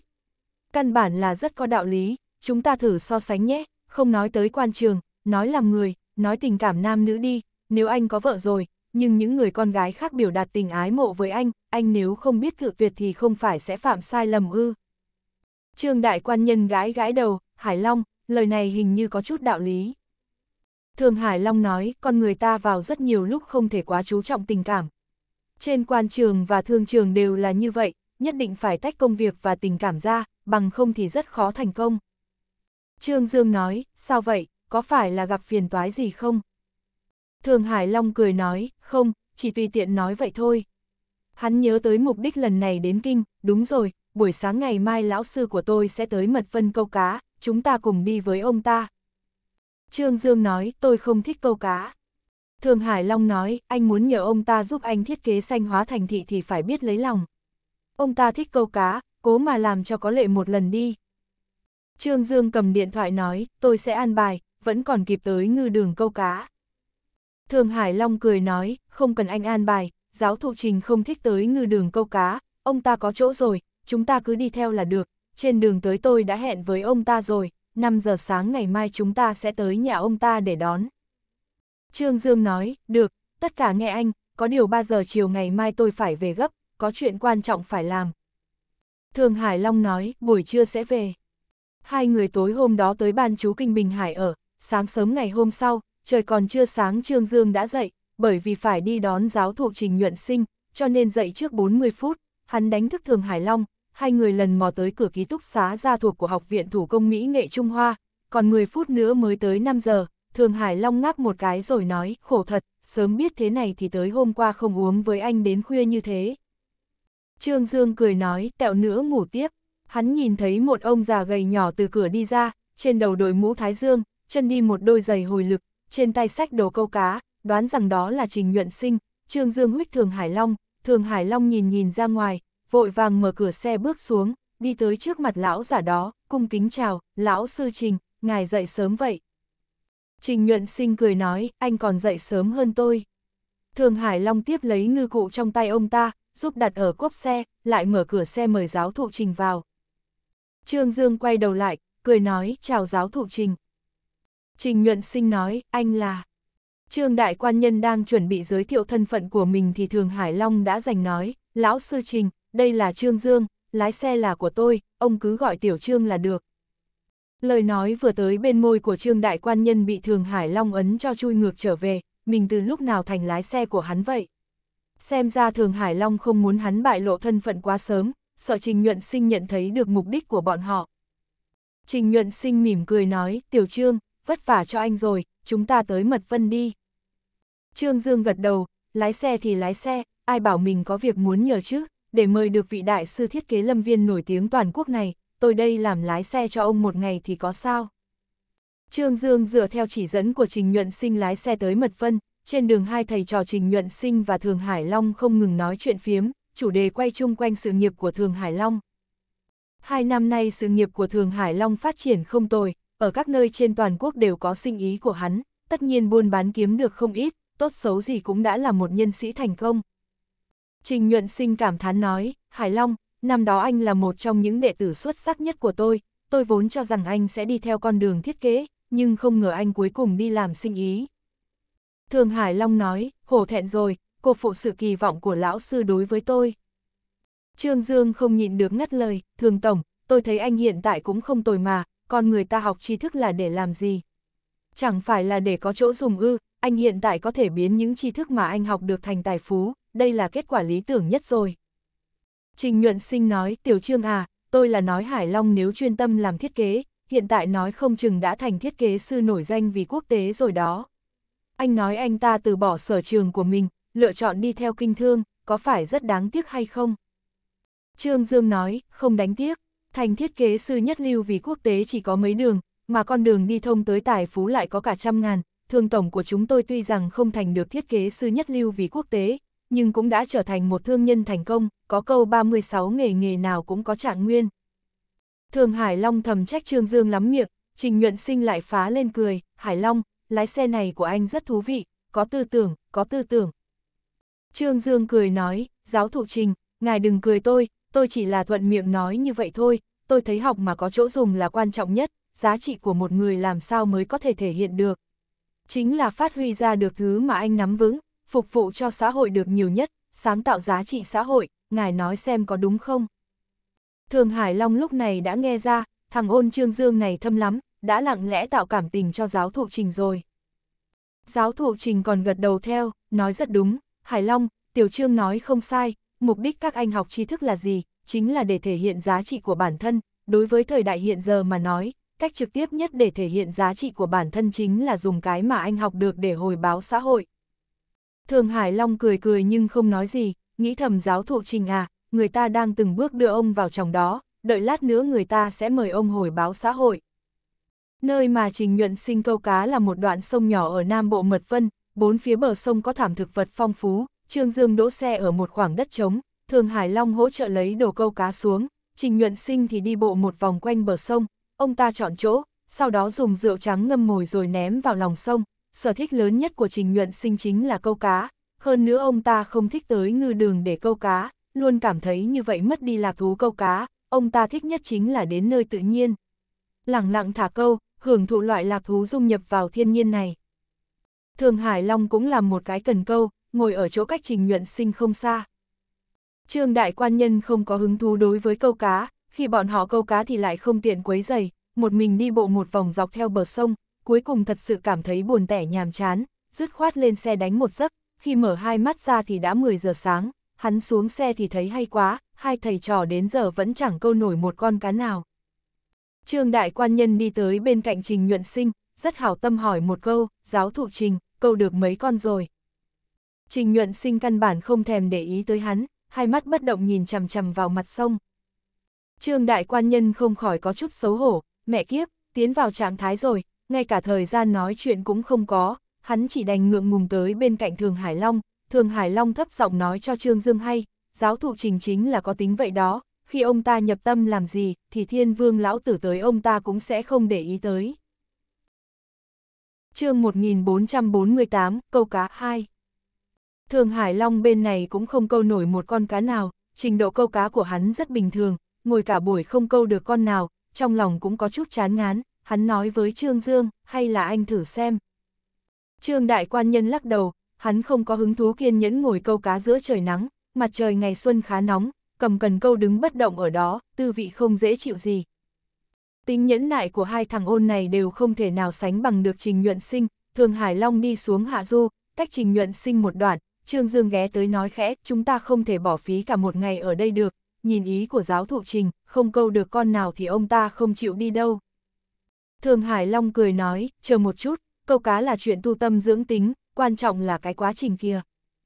Trương Dương nói, nếu muốn hưởng thụ quá trình, các anh dứt khoát học theo Khương Thái Công đi, làm luôn cái mũi câu thẳng ấy. Đừng có tự rát vàng lên mặt mình, trình độ câu cá vẫn còn kém lắm. Thường Hải Long cười cười lắc đầu, tôi thì kém thật, có điều giáo thụ trình chức khá hơn. Trước đây tôi đã đi câu cá cùng ông ta vài lần, mỗi lần đều thu hoạch khá phong phú, hôm nay không biết vì sao lại vậy. Hắn nhìn Trương Dương, ánh mắt lộ ra vẻ kỳ quái. Trương Đại Quan Nhân nói, anh nhìn tôi làm gì? Chẳng lẽ các anh không câu được cá có liên quan tới tôi à? Thường Hải Long nói, không khéo thật sự là tại anh. Trương Dương thở dài nói, đái dầm đổ tại cu, thích đổ oan cho tôi à? Hiềm tôi chướng mắt chứ gì, tôi về xe ngủ tiếp. Thằng ôn này vào trong xe, phát hiện ra một vấn đề, hôm nay họ ra ngoài quá vội, chuẩn bị không đủ, trong xe không có lương khô, mắt thấy sắp đến chưa rồi, nếu không câu được cá thì bọn họ đành chịu đói bụng. Khi trương đại quan nhân đờ nghĩ xem kiếm gì ăn thì Tiết Vĩ Đồng gọi điện thoại tới, nhắc nhở hắn hôm nay tới nhà cô ta tái khám cho Tiết Anh Hồng. Trương Dương cười nói, yên tâm đi, anh không quên đâu, có điều anh bây giờ còn vẫn đang ở Mật Vân, không biết có thể về đúng giờ hay không, vạn nhất nếu về muộn thì không khéo phải ăn cơm ở nhà em rồi. Tiết Vĩ Đồng nói, khách khí cái gì, anh cứ tới đi, ông nội của e cũng rất thích anh, có anh ăn cơm cùng ông khẳng định sẽ rất cao hứng, đúng rồi, em tối nay phải ra ngoài bàn chuyện làm ăn, không thể tiếp anh được. Trương Dương nói, anh lớn rồi cần gì em tiếp, và lại anh có phải là không quen nhà em đâu. Quen là tốt rồi, đúng rồi, dượng em cũng từ Tây Tạng trở về, còn muốn gặp anh để cảm ơn đó. Trương Dương cười nói, đã là người một nhà rồi, có gì mà phải khách khí. Nếu không phải hắn trị nội thương cho Nghiêm Tuấn Cường, Tiết Anh Hồng cũng sẽ không thuận lợi mang thai, chỉ từ phương diện này mà nói thì hắn cũng đã là đại ân nhân của Nghiêm Tuấn Cường rồi. Tiết Vĩ Đồng nói, anh cố tới sớm một chút, ông nội của em rất thích anh, trước đây em cũng từng dẫn bạn tới nhà, nhưng chưa từng thấy ai được ông thích như anh. Trương Dương gác điện thoại rồi nghe radio trong xe một lát, cảm thấy có chút đói bụng, đáng tiếc trong xe không có lương khô, hắn mở cửa xe đi xuống, có kinh nghiệm lần trước, lần này không tới chỗ trình nhuận sinh nữ, để tránh người ta lại phất lờ mình. Có điều nhìn bộ dạng giống như lão tăng nhập định của trình nhuận sinh, trăm phần trăm là vẫn trả câu nổi được một cái vây cá. Tới bên cạnh Thường Hải Long, nhìn thấy Thường Hải Long giật cần một cái, Trương Đại Quan Nhân nhìn về phía trước, giống tuếch, Thường Hải Long kéo cần câu lại xem, phát hiện mồi câu đã bị nuốt, hắn cảm thán nói cảm thán nói cá nơi này rảo hoạt thật. Trương Dương nhìn hắn lại móc mồi vào câu, không khỏi nói, anh hôm nay đi cho cá ăn hay là đi câu cá? Hay là chúng ta tìm chỗ nào ăn chút gì đi đã? Không thể nào để bụng đói mãi được. Thường Hải Long nói, đợi lát nữa đi, tôi mời anh ăn cá nướng. Trương Dương nói, trông cậy vào anh à, anh đưa cần câu cho tôi cho tôi tôi tự mình động thủ kiếm cơm ăn. Thường Hải Long chỉ mừng có người thế chân cho mình, lập tức đưa cần câu cho Trương Dương, Trương Đại Quan Nhân hất cần, kể ra cũng lạ, mồi cá vừa rơi xuống nước, bong bóng cá liền nổi lên, Thường Hải Long đang uống nước, nhìn thấy có cá cắn, vội vàng nói, đừng hoảng hốt. Trương Đại Quan Nhân chẳng thèm nghe hắn, dùng sức nhấc lên, một con cá nặng chừng một cân bị hắn từ dưới nước câu lên, thằng ôn này hưng phấn dị thường, ha ha, câu được rồi, câu được rồi. Thường Hải Long khổ sở chờ cả buổi sáng, cuối cùng cũng nhìn thấy một con cá sống rồi, hắn cũng cười theo, ha ha, cuối cùng cũng câu được cá rồi. Hai người đang cao hứng thì ở thượng du truyền đến một tiếng gắt, đừng có làm ồn nữa, dọa cá chạy hết bây giờ. Giáo thụ trình mất hứng, cũng khó trách người ta mất hứng, câu cả một buổi sáng, đến vẩy cá cũng không thấy được một mẩu. Thường Hải Long ở sau lưng Trình Nhuận Sinh làm mặt quỷ, giúp Trương Dương cất cá đi, Trương Dương nói, một con không đủ ăn, tôi câu thêm mấy con nữa để trưa nay mời anh ăn cá rán. Nói đến cũng lạ, Trương Dương ném cần vào nước chưa được 2 phút, lại có cán căn câu rồi, lần này là một con cá nặng gần 3 cân, Trương Đại Quan Nhân trước đây cũng không biết câu cá có cảm giác thành tựu lớn như vậy, mừng rỡ liên tục hoan hô, Thường Hải Long không khỏi nhắc nhở hắn phải nhỏ nhẹ một chút, dù sao giáo thụ trình đến bây giờ vẫn chưa câu được con nào, phải để cho khiến cho người ta chút mặt mũi, giáo thụ trình này xưa nay luôn tranh cường háo thắng. Không biết là vận khí hay là trương đại quan nhân trời sinh đã là một cao thủ câu cá, từ lúc cần câu vào tay hắn, cá thường xuyên câu, cá trích, cá chép luân phiên vào tay, một lần còn câu được cả một con tôm càng xanh lớn. Thường Hải Long nhìn thấy bên Trình Nhuận Sinh vẫn không có chút phản ứng nào, hắn nhắc nhở Trương Dương hôm nay là để lừa giáo thụ Trình cao hứng, bọn họ có việc cầu người có việc cầu người ta, chỉ có Trình Nhuận Sinh cao hứng mới có thể đáp ứng Trương Dương thiết kế xanh hóa cho thành thị Tân Hải, nhưng hắn nhìn ra sắc mặt của Trình Nhuận Sinh càng lúc càng khó coi, vốn khi ông ta câu cá, tốt xấu gì cũng có bạn, hiện tại Trương Dương liên tục câu được cá, nhưng Trình Nhuận Sinh bên kia đến bây giờ vẫn chưa câu được con nào. So sánh với nhau thì Trình Nhuận Sinh có chút xấu hổ, còn nói là lão thủ câu cá nhiều năm, ngay cả tên chưa câu cá bao giờ cũng không bằng. Thường Hải Long đề nghị để Trương Dương và Trình Nhuận Sinh thay đổi vị trí, hắn cũng là có hảo tâm, chạy đến trước mặt Trình Nhuận Sinh nói, Trình Lão Sư, ngài và Tiểu Trương thay đổi vị trí đi, ngài qua bên kia câu thử xem. Trình Nhuận Sinh nghiêm mặt nói, tôi vì sao phải đổi? Anh có ý gì? Thường Hải Long vỗ mông ngựa lại thành vỗ chân ngựa, rất là xấu hổ, Trương Dương bên kia đã thu cần lại, nghe thấy Trình Nhuận Sinh ngoan cố như vậy, cũng có chút bất lực, không câu được không ít cá, hiện tại đã đói bụng rồi, trước tiên giải quyết vấn đề cơn nước đã rồi nói sau. Trình nhuận sinh tuy rằng không câu được cá, có điều ông ta chuẩn bị rất đầy đủ, trong ba lô không ngờ còn có lò nướng và than củi, Trương Dương và Thường Hải Long tìm được một chỗ đất trống, một người nhóm lửa, một người giết cá, sau khi làm sạch sẽ thì nướng ngay tại chỗ. Không bao lâu sau mùi cá nướng tỏa ra khắp nơi, Trương Đại Quan Nhân thét to, giáo thụ trình, ăn trước đi đã rồi câu tiếp. Trình nhuận sinh nói, các anh ăn của các anh, mặc kệ tôi. Ngữ khí của ông ta rõ ràng có chút mất hứng. Trương đại quan nhân mắng thầm ông ta không hiểu lòng tốt của người khác, mình đúng là úp cái mặt nóng vào cái mông lạnh rồi, theo lý mà nói thì mình có đắc tội với ông ta đâu. Chẳng có gì ngoài câu được vài con cái, cái này gọi là dựa vào bản sự để kiếm cơm, bản thân ông không câu được thì cũng đừng giận cá chém thất chứ. Thường Hải Long thấp giọng nhắc nhở Trương Dương đừng tự tìm mất mặt, Trương Dương đi vào xe lấy một bình rượu, hai người bọn họ vừa uống rượu vừa vừa ăn cá nướng, mùi cá nước bay vào trong mũi Trình Nhuận Sinh, Trình Nhuận Sinh lúc này cũng có chút đói bụng rồi, nhưng nhìn mặt nước vẫn yên ả, ông ta cũng cảm thấy kỳ quái, mình câu cá mấy chục năm rồi, vì sao hôm nay lại không câu được cá. Trong sông này rõ ràng có cá, không ngờ đội nắng cả ngày vẫn chẳng câu được con nào.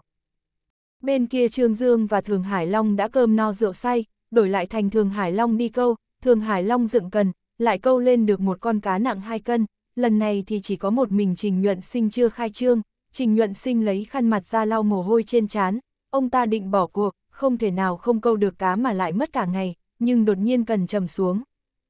Trình Nhuận Sinh hai mắt sáng ngời, nhìn thấy bong bóng cá cá cũng đã nổi lên tiên tục, con cá kia xem ra cực kỳ giảo hoạt, sau khi thử vài lần, mới yên tâm nuốt mồi câu vào, Trình Nhuận Sinh giật cần, dây câu đột nhiên bị kéo vào trong nước, lập tức cong veo, Trình Nhuận Sinh lấy lại tinh thần, dựa vào kinh nghiệm câu cá nhiều năm của ông ta, đây nhất định là một con cá lớn chương 1449, câu cá 3 Đừng nhìn Trình Nhuận Sinh đã lớn tuổi, nhưng lòng háo thắng không phải là nhỏ bình thường, chính vì tính cách này, trên học thuật ông ta mới có được thành công như vậy, nhưng trên cuộc sống mà cũng vậy thì rất nhiều lúc không hay, Trình Nhuận Sinh bắt đầu chiến đấu với con cá lớn này. Một người một cá tốn khoảng chừng 10 phút, lúc này con cá đó mới từ từ nổi cái lưng màu xanh đen lên, không ngờ là một con loa sư thanh dài độ 1 mét rưỡi, Trương Dương và Thường Hải Long đều bị hấp dẫn, con cá này cũng lớn thật.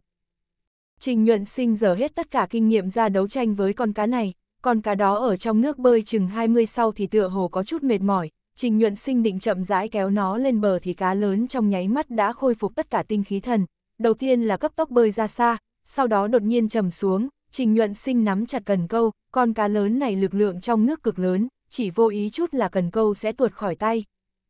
Thường Hải Long sợ hãi than, cá lớn quá. Trình nhuận sinh thuận theo phương hướng của con cá chấm đen, ý đồ để thể lực của nó tiêu hao hết, cá chấm đen đột nhiên vẫy đuôi một cái, dùng tốc độ cực nhanh trầm xuống, cần câu trong tay trình nhuận sinh cương tính đã đạt tới cực hạn, rắc một tiếng, cần câu gãy thành hai đoạn. Trên mặt trình nhuận sinh tràn ngập vẻ thất vọng, khó khăn lắm mới gặp được một con cá lớn, không ngờ lại mất đi như vậy.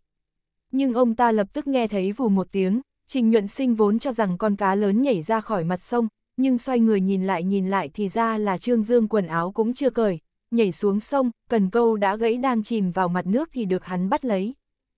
Cá chấm đen làm đứt cần câu, đang cho rằng đã thoát khỏi sự trói buộc, liều mạng chạy trốn thì bỗng nhiên lại bị một cỗ cỗ lực lượng níu kéo, cá chấm đen thay đổi phương hướng, dùng tốc độ kinh người lao tới mục tiêu là trong nước, nếu như là người bình thường thì sợ rằng sẽ bị cá chấm đen đâm cho chết khiếp. Nhưng đối tượng mà cá chấm đen sắp va chạm là Trương Đại Quan Nhân, thế thì không khác gì chui đầu vô lưới. Cá chấm đen còn chưa tới trước mặt thì Trương Đại Quan Nhân đã từ trong chấn động của dòng nước nhận ra nó con đường lao của nó, thân thể hơi nghiêng một cái, cá chấm đen sượt qua người hắn, không đợi nó lao đi, Trương Dương vung tay đập vào đầu nó, chỉ cái đập này đã khiến cá chấm đen ngất lịm, mất năng lực phản kháng. Trình nhuận sinh nhìn con cá chấm đen lớn bị vứt lên bờ sông, sau đó nhìn thấy Trương Dương cả người ướt sũng đi lên, biến hóa vừa rồi phát sinh quá nhanh, với chỉ số thông minh của giáo thụ trình nhuận sinh cũng không hoàn toàn hiểu rõ cụ thể dã xảy ra chuyện gì. Dù sao hành động vĩ đại như Trương Dương nhảy vào trong sông bắt cá cũng không phải là được gặp nhiều lắm, hơn nữa hắn chẳng những nhảy xuống, mà còn thành công bắt cá chấm đen lên. Trương đại quan nhân chẳng buồn lau đi những giọt nước trên mặt, mỉm cười nói với Trình Nhuận Sinh, cũng may không để nó chạy thoát, giáo thụ Trình, con cá này ghê gớm thật, tôi chưa từng gặp cá chấm đen lớn như vậy. Thường Hải Long cũng đi tới, tràn đầy đồng cảm, tôi cũng chưa từng gặp cá lớn như vậy. Trình Nhuận Sinh thở dài nói, việc gì phải thể, không phải chỉ là một con cá thôi ư. Khiến cho cả người ướt xuống rồi, cẩn thận không cảm. Trương Dương nói, sức khỏe của tôi rất tốt, hắt xì. Trình Nhuận Sinh nói, mau thay quần áo đi. Trong xe Trương Dương cũng có quần áo thể thao, hắn chạy đi thay, Trình Nhuận Sinh thử trọng lượng của con cá đó, chiều dài không ngờ đạt tới một thước 59, trọng lượng cũng khoảng 50 cây di, Trình Nhuận Sinh câu cá cả đời cũng chưa từng gặp cá lớn như vậy. Thường Hải Long nhân cơ hội vỗ vuốt mông ngựa, lão sư Trình, ngày cả nửa ngày không khai trương, vừa khai trương đã hơn cả nửa năm, con cái này so với tất cả cá mà chúng tôi cộng lại cũng nặng hơn nhiều. Trình nhuận sinh lúc này không ngờ cũng biết khiêm tốn cười cười, con cá này công lao không thể tính trên đầu tôi, là tiểu trương bắt được. Ông ta dùng từ rất chính xác, dùng tới chữ bắt chứ không phải câu, cá lớn như vậy ông ta không câu được, chẳng trách cần câu còn gãy. Đừng nói là không câu được, cho dù để trình nhuận sinh mang đi thì ông ta cũng mang không được, con cá này thật sự là quá nặng. Trương Dương và Thường Hải Long hợp lực đưa cá lên xe, sau đó dùng khăn ướt bọc đầu cá lại, để con cá này sống lâu thêm một đoạn thời gian.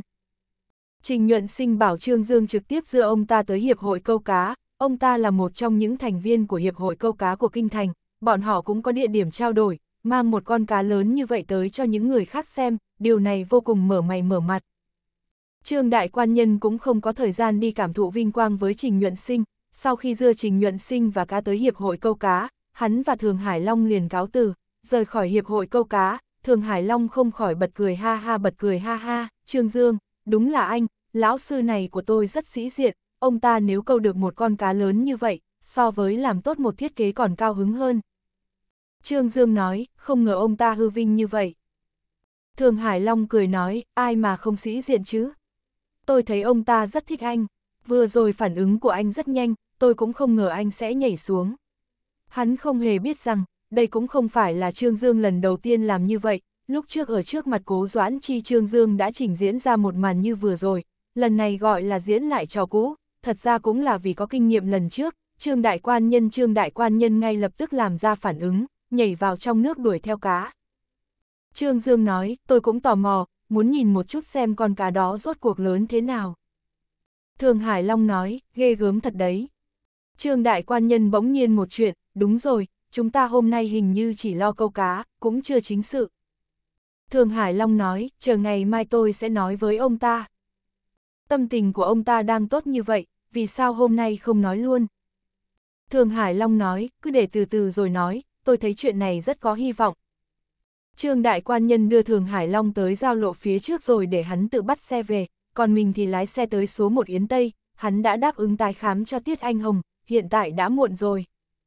Chờ Trương Dương tới nơi, thì đã là 4 rưỡi chiều, Trương Dương vừa mới đi vào cửa lớn của biệt thự SOS 99 thì nhìn thấy Nghiêm Tuấn Cường một thân nhung trang đang xải bước ra đón, nhìn thấy Trương Dương, Nghiêm Tuấn Cường vẻ mặt tươi cười, y cầm tay Trương Dương dùng sức lắc lắc rồi nói Trương Dương, cảm ơn cậu. Trương Dương cười nói, chú Nghiêm, chú cũng đừng khách khí với tôi, tôi và Vĩ Đồng là huynh muội kết bái, chuyện của nhà các chú cũng là chuyện của tôi, và lại lúc đó tôi cũng đang có mặt ở đây, không thể nào tụ thủ bàng quang được phải không nào. Nghiêm Tuấn Cường và Trương Dương cùng nhau đi vào, Trương Dương phát hiện Tiết Lão không ở phòng khách, trong lòng hơi có chút kỳ quái, theo hắn nghĩ, Tiết Lão vốn chắc là đang khẩn trương, xem ra từng trải đúng là từng trải, vẫn nhịn được. Trương Dương nói, Tiết Lão không ở nhà à. Nghiêm Tuấn Cường nói, cha của Vĩ Đồng về, Lão gia tử đang trong tâm sự với anh ta trong thư phòng. Trương Đại Quan Nhân hơi ngẩn ra, Tiết Thế Luân, hắn tuy rằng đã nhiều lần nghe nói tới cái tên này, nhưng đến nay vẫn không có duyên gặp mặt, không biết cha của Tiết Vĩ Đồng rốt cuộc là một người như thế nào.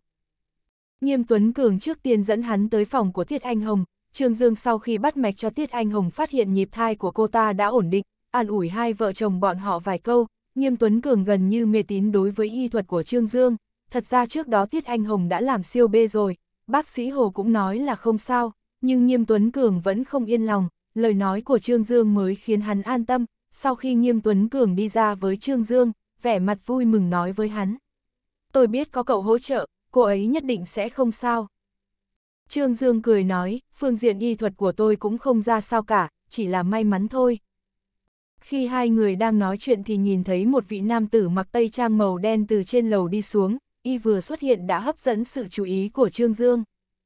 Người này chính là Tiết Thế Luân, con thứ ba của Tiết Lão, Tiết Thế Luân năm nay 53 tuổi, bởi vì bảo dưỡng rất tốt, thoạt nhìn thì trẻ hơn tuổi thực tế rất nhiều, y cũng được hưởng gen đẹp của Tiết Lão, thân cao một thước 84, điều này khiến cho y từ lúc sinh ra đã có một loại khí thế tài trí hơn người. Tiết Thế Luân đứng trên cầu thang, nhìn thấy Nghiêm Tuấn Cường và Trương Dương thì y khựng lại một chút, tựa hồ muốn cho Trương Dương cảm thụ tư vị ngước nhìn, sau đó y mỉm cười rất ôn hòa. Không nhanh không chậm đi xuống lầu, nhưng y không trực tiếp đi đến trước mặt Trương Dương, mà là đi được hai bước thì ngừng lại, rất hòa ái nhìn Trương Dương nói, nếu tôi đoán không nhầm, cậu chính là Trương Dương. Trương Dương đi tới, chủ động vươn tay về phía Tiết Thế Luân, chào chú Tiết. Bàn tay của Tiết Thế Luân rất lớn, ngón tay thon dài, màu da trắng nón, móng tay được tu sửa gọn gàng, không tìm thấy bất kỳ chỗ nào không sạch sẽ, nhìn ra được y là người rất chú trọng hình tượng cá nhân. Tiết Thế Luân nói, tôi thường xuyên nghe Vĩ Đồng nhắc tới cậu, cậu quả nhiên rất xuất sắc. Trương Dương cười nói, chú Tiết quá khen. chương 1450, thất phẩm 1. Tiết Thế Luân không hề có ý nói chuyện lâu với Trương Dương, mắt nhìn nhìn lên lầu, lão gia tử đang ở trên lầu chờ cậu, cậu đi lên đi đã. Trương Dương gật đầu. Thật ra Tiết Thế Luân cũng không nghĩ ra cha vì sao lại có hứng thú với một câu thanh niên như vậy, chỉ là vì thư pháp thôi ư. Vậy hình như có chút gượng ép rồi. Trương Dương tới trước thư phòng, nhẹ nhàng gõ cửa phòng, sau khi được phép tiến vào mới đẩy cửa ra. Tiết lão ngồi sau bàn, rất bình tĩnh nhìn Trương Dương bước vào, Trương Dương đóng cửa phòng lại, đi tới trước mặt Tiết lão cung kính nói, Tiết lão, mấy ngày nay có khỏe không? Tiết lão nói, dựa theo phương thuốc cậu kê cho tôi uống vài ngày, cảm giác đau đớn đã giảm bớt rất nhiều, nhưng tôi ngủ vẫn không tốt lắm. Ông ta chỉ chỉ vào ghế đối diện ý bảo Trương Dương ngồi xuống, Trương Đại Quan Nhân sau khi ngồi xuống cảm thấy trên ghế còn có chút hơi nóng, chắc là vì Tiết Thế Luân vừa mới ngồi. Trương Dương nói, vì sao ngủ không ngon? Tiết Lão nói, áp lực tư tưởng, tôi vốn cho rằng mình đã là người thoáng đạt, cái gì cũng đã trải qua rồi, cái gì cũng nhìn thấu rồi, nhưng khi tật bệnh phát sinh trên người tôi, tôi vẫn sinh ra áp lực tư tưởng. Ở trước mặt Trương Dương Tiết Lão vô tình đã sắm vai một nhân vật cường giả, bởi vì ông ta còn ý thức được mình trước mắt chỉ là một bệnh nhân, một bệnh nhân chờ được người khác giúp chữa bệnh. Trương Dương nói, khi chữa bệnh, trị liệu tâm lý và thượng dược vật quan trọng ngang nhau. Tôi biết. Trương Dương nói, tôi đã nghĩ ra một phương án trị liệu, nói ra để tham thảo một chút với ngài. Tiết lão nói, tôi không phải là bác sĩ, tôi thậm chí ngay cả thường thức y học tối thiểu cũng không hiểu. Trương Dương nói, mấu chốt của chữa bệnh không chỉ ở bác sĩ, mà còn cả bệnh nhân nữa, phải là hai người phối hợp tốt mới có thể trong thời gian ngắn nhất đạt được hiệu quả tốt nhất. Tiết lão nói, tôi đã yêu cầu nhân viên tương quan nghiêm khắc giữ bí mật về bệnh tình của tôi, chuyện cậu trị liệu cho tôi, tôi sẽ không tiết lộ cho bất kỳ ai. Trương Dương nói, có chuyện tôi phải nói thật với ngài, tôi không có giấy chứng nhận hành nghề bác sĩ. Tiết lão hài hước đáp lại, biển thước không có giấy phép hành nghề, hoa đà không có, lý thời chân cũng không có, nhưng ai có thể phủ nhận sự thật bọn họ là danh y chứ? Trương Dương nói, tôi không muốn làm danh y, tôi chỉ muốn cố gắng chữa khỏi cho ngài, cũng không cần ngài hồi báo tôi gì cả, tôi chỉ không muốn để em gái nuôi của tôi thương tâm. Tiết lão gật đầu nói, lý do này tôi thích, nói như vậy, tôi nhận trị liệu không những không nợ nhân tình của cậu, ngược lại còn là cho cậu một cái nhân tình. Trương Dương mỉm cười nói, đúng, ngài sớm đã phất lờ chuyện sinh tử rồi, nhưng ngài đi rồi Vĩ Đồng sẽ rất thương tâm, cho nên tôi không muốn Vĩ Đồng phải thương tâm thì phải giúp ngài, ngài nhất định phải cho tôi nhân tình này. Tiết lão bật cười ha ha. Trương Dương nói, đã kiêng rượu chưa? Tiết lão lắc đầu nói, chỉ uống ít thôi, trước đây tôi quen uống rượu rồi, nếu đột nhiên thay đổi thói quen sinh hoạt, như vậy khẳng định sẽ cơ vơ người hoài nghi, cậu nói xem có đúng không? Trương đại quan nhân không khỏi cười khổ nói, ngài nghĩ chu đáo quá.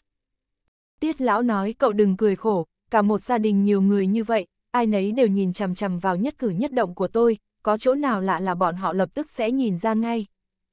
Trương Dương nói, tiết lão nhất định là cao thủ vị phản đặc biệt. Trong lòng minh bạch quyền uy của tiết lão trong nhà này là không thể nghi ngờ, tiết ra sở dĩ có thể có được địa vị hiện tại, có liên quan tới sự tồn tại của tiết lão, nếu tiết lão xảy ra bất kỳ bất chắc gì, thanh danh và địa vị của tiết gia tất nhiên sẽ chịu ảnh hưởng cực lớn, ở điểm này tiết gia và kiều gia cực kỳ giống nhau. Dầu không quá ba đời, thật ra trên quan trường cũng tồn tại quy luật như vậy, ít nhất ở tiết gia mà nói, thành tựu của nhân vật đời thứ hai không có ai có thể vượt qua được tiết lão, càng không cần phải nói tới đời thứ ba như tiết vĩ đồng. Tiết lão nói, hiện tại nói phương án khám bệnh của cậu đi, tôi hy vọng là đừng quá đau, quá trình trị liệu tận lực đừng để ảnh hưởng đến cuộc sống bình thường của tôi. Trương Dương nói, trong Tây Y có phương pháp trị liệu loại bệnh này của ngài, đó dựa vào kết hợp phẫu thuật và trị bệnh bằng hóa chất, như vậy thật ra không gì ngoài trước tiên giết chết tế bào ung thư, loại phương pháp này đồng thời vào lúc giết chết tế bào ung thư cũng khó tránh khỏi giết chết những tế bào bình thường của ngài, muốn không gây ra ảnh hưởng là cơ hồ không thể. Tiết lão gật đầu. Trương Dương nói, đạo lý của phương pháp của tôi cũng như vậy, nhưng tôi sẽ dùng nội lực để đốt khối u ở gan của ông, quá trình này phải tiến hành theo tuần tự, tôi đầu tiên sẽ phải dùng loại kim châm đặc chế này, đâm vào trong da thịt của ngài, đâm thẳng tới gan của ngài, sâu vào trung tâm của khối u, sau đó sẽ dùng nội lực truyền vào trong khối u, lợi dụng nhiệt đột cao để đốt tế bào ung thư. Tiết lão nói, nghe giống như là nhiệt liệu thôi, bác sĩ đã từng nhắc tới với tôi. Trương Dương nói, bọn họ không thể nắm giữ chính xác như tôi. Hắn mở hộp châm đựng đầy kim ra, từ trong tay lấy ra một cây kim châu dài chừng 15 muốn, nhỏ như lông châu. Tiết lão nhìn kim châm rồi nói khẽ câu muốn dùng cây kim châm này để đâm vào bụng của tôi. Trương đại quan nhân gật đầu, tiết lão, ngài sẽ không lo lắng tôi hại ngài chứ. Tiết lão mỉm cười nói, cậu nếu có ý nghĩ như vậy thì chính là kẻ ngốc rồi, bất kỳ ai nếu biết tôi không sống qua được 3 tháng nữa đều sẽ không làm việc ngu xuẩn vẽ rắn thêm chân này. Trương Dương nói, ngài yên tâm, trong quá trình hành châm tôi sẽ chế trụ huyệt đạo của ngài, hơn nữa sẽ không quá đau đâu. Tiết lão nói, có thể bắt đầu chưa? Trương Dương gật đầu. Tiết lão đi tới cái ghế dựa mà ông ta bình thường nằm nghỉ, cởi áo rồi nằm xuống. Trương Dương trước tiên tiến hành khử động bộ vị hành châm, sau đó vận chỉ như gió điểm trúng nhiều chỗ huyệt đạo trên người tiết lão, đây là để phòng ngừa trong quá trình trị liệu tiết lão không chịu được đau, thân thể theo bản năng có động tác làm ảnh hưởng tới trị liệu của hắn. Tiết lão nhắm mắt lại nói khẽ, hy vọng cậu có thể cho tôi thêm một năm. Trương Dương tiếp theo phòng bế á huyệt của tiết lão, sau khi cầm kim châm trong tay lên, tay phải khẽ động, kim châm lóe lên, đã đâm vào phần bụng bên trên của tiết lão, tốc độ tiến châm của Trương Dương cực nhanh, kim châm cực dẻo bị nội lực của hắn truyền vào, độ rắn mạnh hơn vô số lần, mũi nhọn cơ hồ không chịu một chút cản trở nào cứ vậy đâm vào da thịt ở phần bụng của tiết lão, xuyên qua gan xâm nhập vào bên trong khối u. Bởi vì tốc độ kim châm đâm vào thân thể quá nhanh, đau đớn mà tiết lão phải chịu không quá kịch liệt, sau khi cơn đau lúc mới đầu qua đi, cảm thấy phần bụng bên chân dần dần nóng lên, theo thời gian, chỗ kim châm đâm vào càng lúc càng nóng, một loại cảm giác nóng rát khiến tiết lão không khỏi nhíu mày. Trương Dương khống chế nội lực của bản thân cuồn cuộn không ngừng rót vào, theo kim châm tiến vào trong cơ thể của tiết lão, nội tức tịch tụ ở vị trí khối u, nhiệt độ theo tiến trình vận công của Trương Dương không ngừng tăng lên. Cơn đau giống như bị thiêu không ngừng tăng lên, Trương Dương từ vẻ mặt của tiết lão nhìn ra cơn đau của ông ta không ngừng gia tăng, lại rút ra một cây châm đâm vào huyệt đạo ở vai và trước ngực của ông ta. Sau khi hành châm, cảm giác đau của tiết lão giảm đi nhiều, quá trình như vậy kéo dài thêm khoảng 10 phút. Trương Dương chậm rãi thu hồi nội tức, để chân khí lưu chuyển một vòng trong cơ thể, xua tan đi mệt mỏi, sau khi bổ sung nội lực, một lần nữa bắt đầu trị liệu cho ông ta, lần này chỉ dùng công phu âm sát tu la trường, dùng lực cực lạnh rót vào, nóng lạnh thay nhau giết khối u trong cơ thể tiết lão. Sau khi trị liệu cho tiết lão, Trương Dương cũng đầu đầy mồ hôi, từ từ thu hồi nội lực, giải huyệt đạo cho tiết lão, tiết lão nằm ở đó nghỉ ngơi trong chốc lát, mới mở mắt ra thở hắt, nói, đau quá. Có điều tôi vẫn chịu được. Trương Dương cười nói, tôi chưa bao giờ gặp ai kiên cường như ngài. Những lời này rõ ràng đang vỗ mông ngựa tiết lão. Tiết lão bật cười. Trương Dương bảo ông ta nằm yên chừng 15 phút đồng hồ, trong quá trình này, Trương Dương viết một hàng chữ trên bàn làm việc của Tiết Lão, nói là tới đây chỉ điểm thư pháp cho Tiết Lão, dù sao cũng phải lưu lại chút gì đó chứ. Sau khi Tiết Lão nghỉ ngơi chừng 15 phút, chậm rãi ngồi dậy, cảm thấy bụng phải vẫn ngâm ngầm đau. Trương Dương nói, Tiết Lão, từ hôm nay trở đi, rượu phải bỏ hẳn, quá trình trị liệu chắc phải duy trì thêm một tháng, tôi hôm nay bắt đầu từ vị trí trung tâm của khối u, hai ngày nữa sẽ hình thành một khoảng rỗng trong đó, theo sự trị liệu của tôi, cá khoang rỗng này sẽ không ngừng mở rộng, tới sau cùng thì hoàn toàn nuốt lấy khối u. Tiết lão nói, cần trị liệu mấy lần nữa. Trương Dương nói, ba ngày sau tôi sẽ lại tới, chắc phải năm lần mới có thể triệt để diệt được khối u. Tiết lão nói, cũng chính là nói tôi có thể đỡ bệnh. Audio điện tử võ tấn bền. Hết chương 1450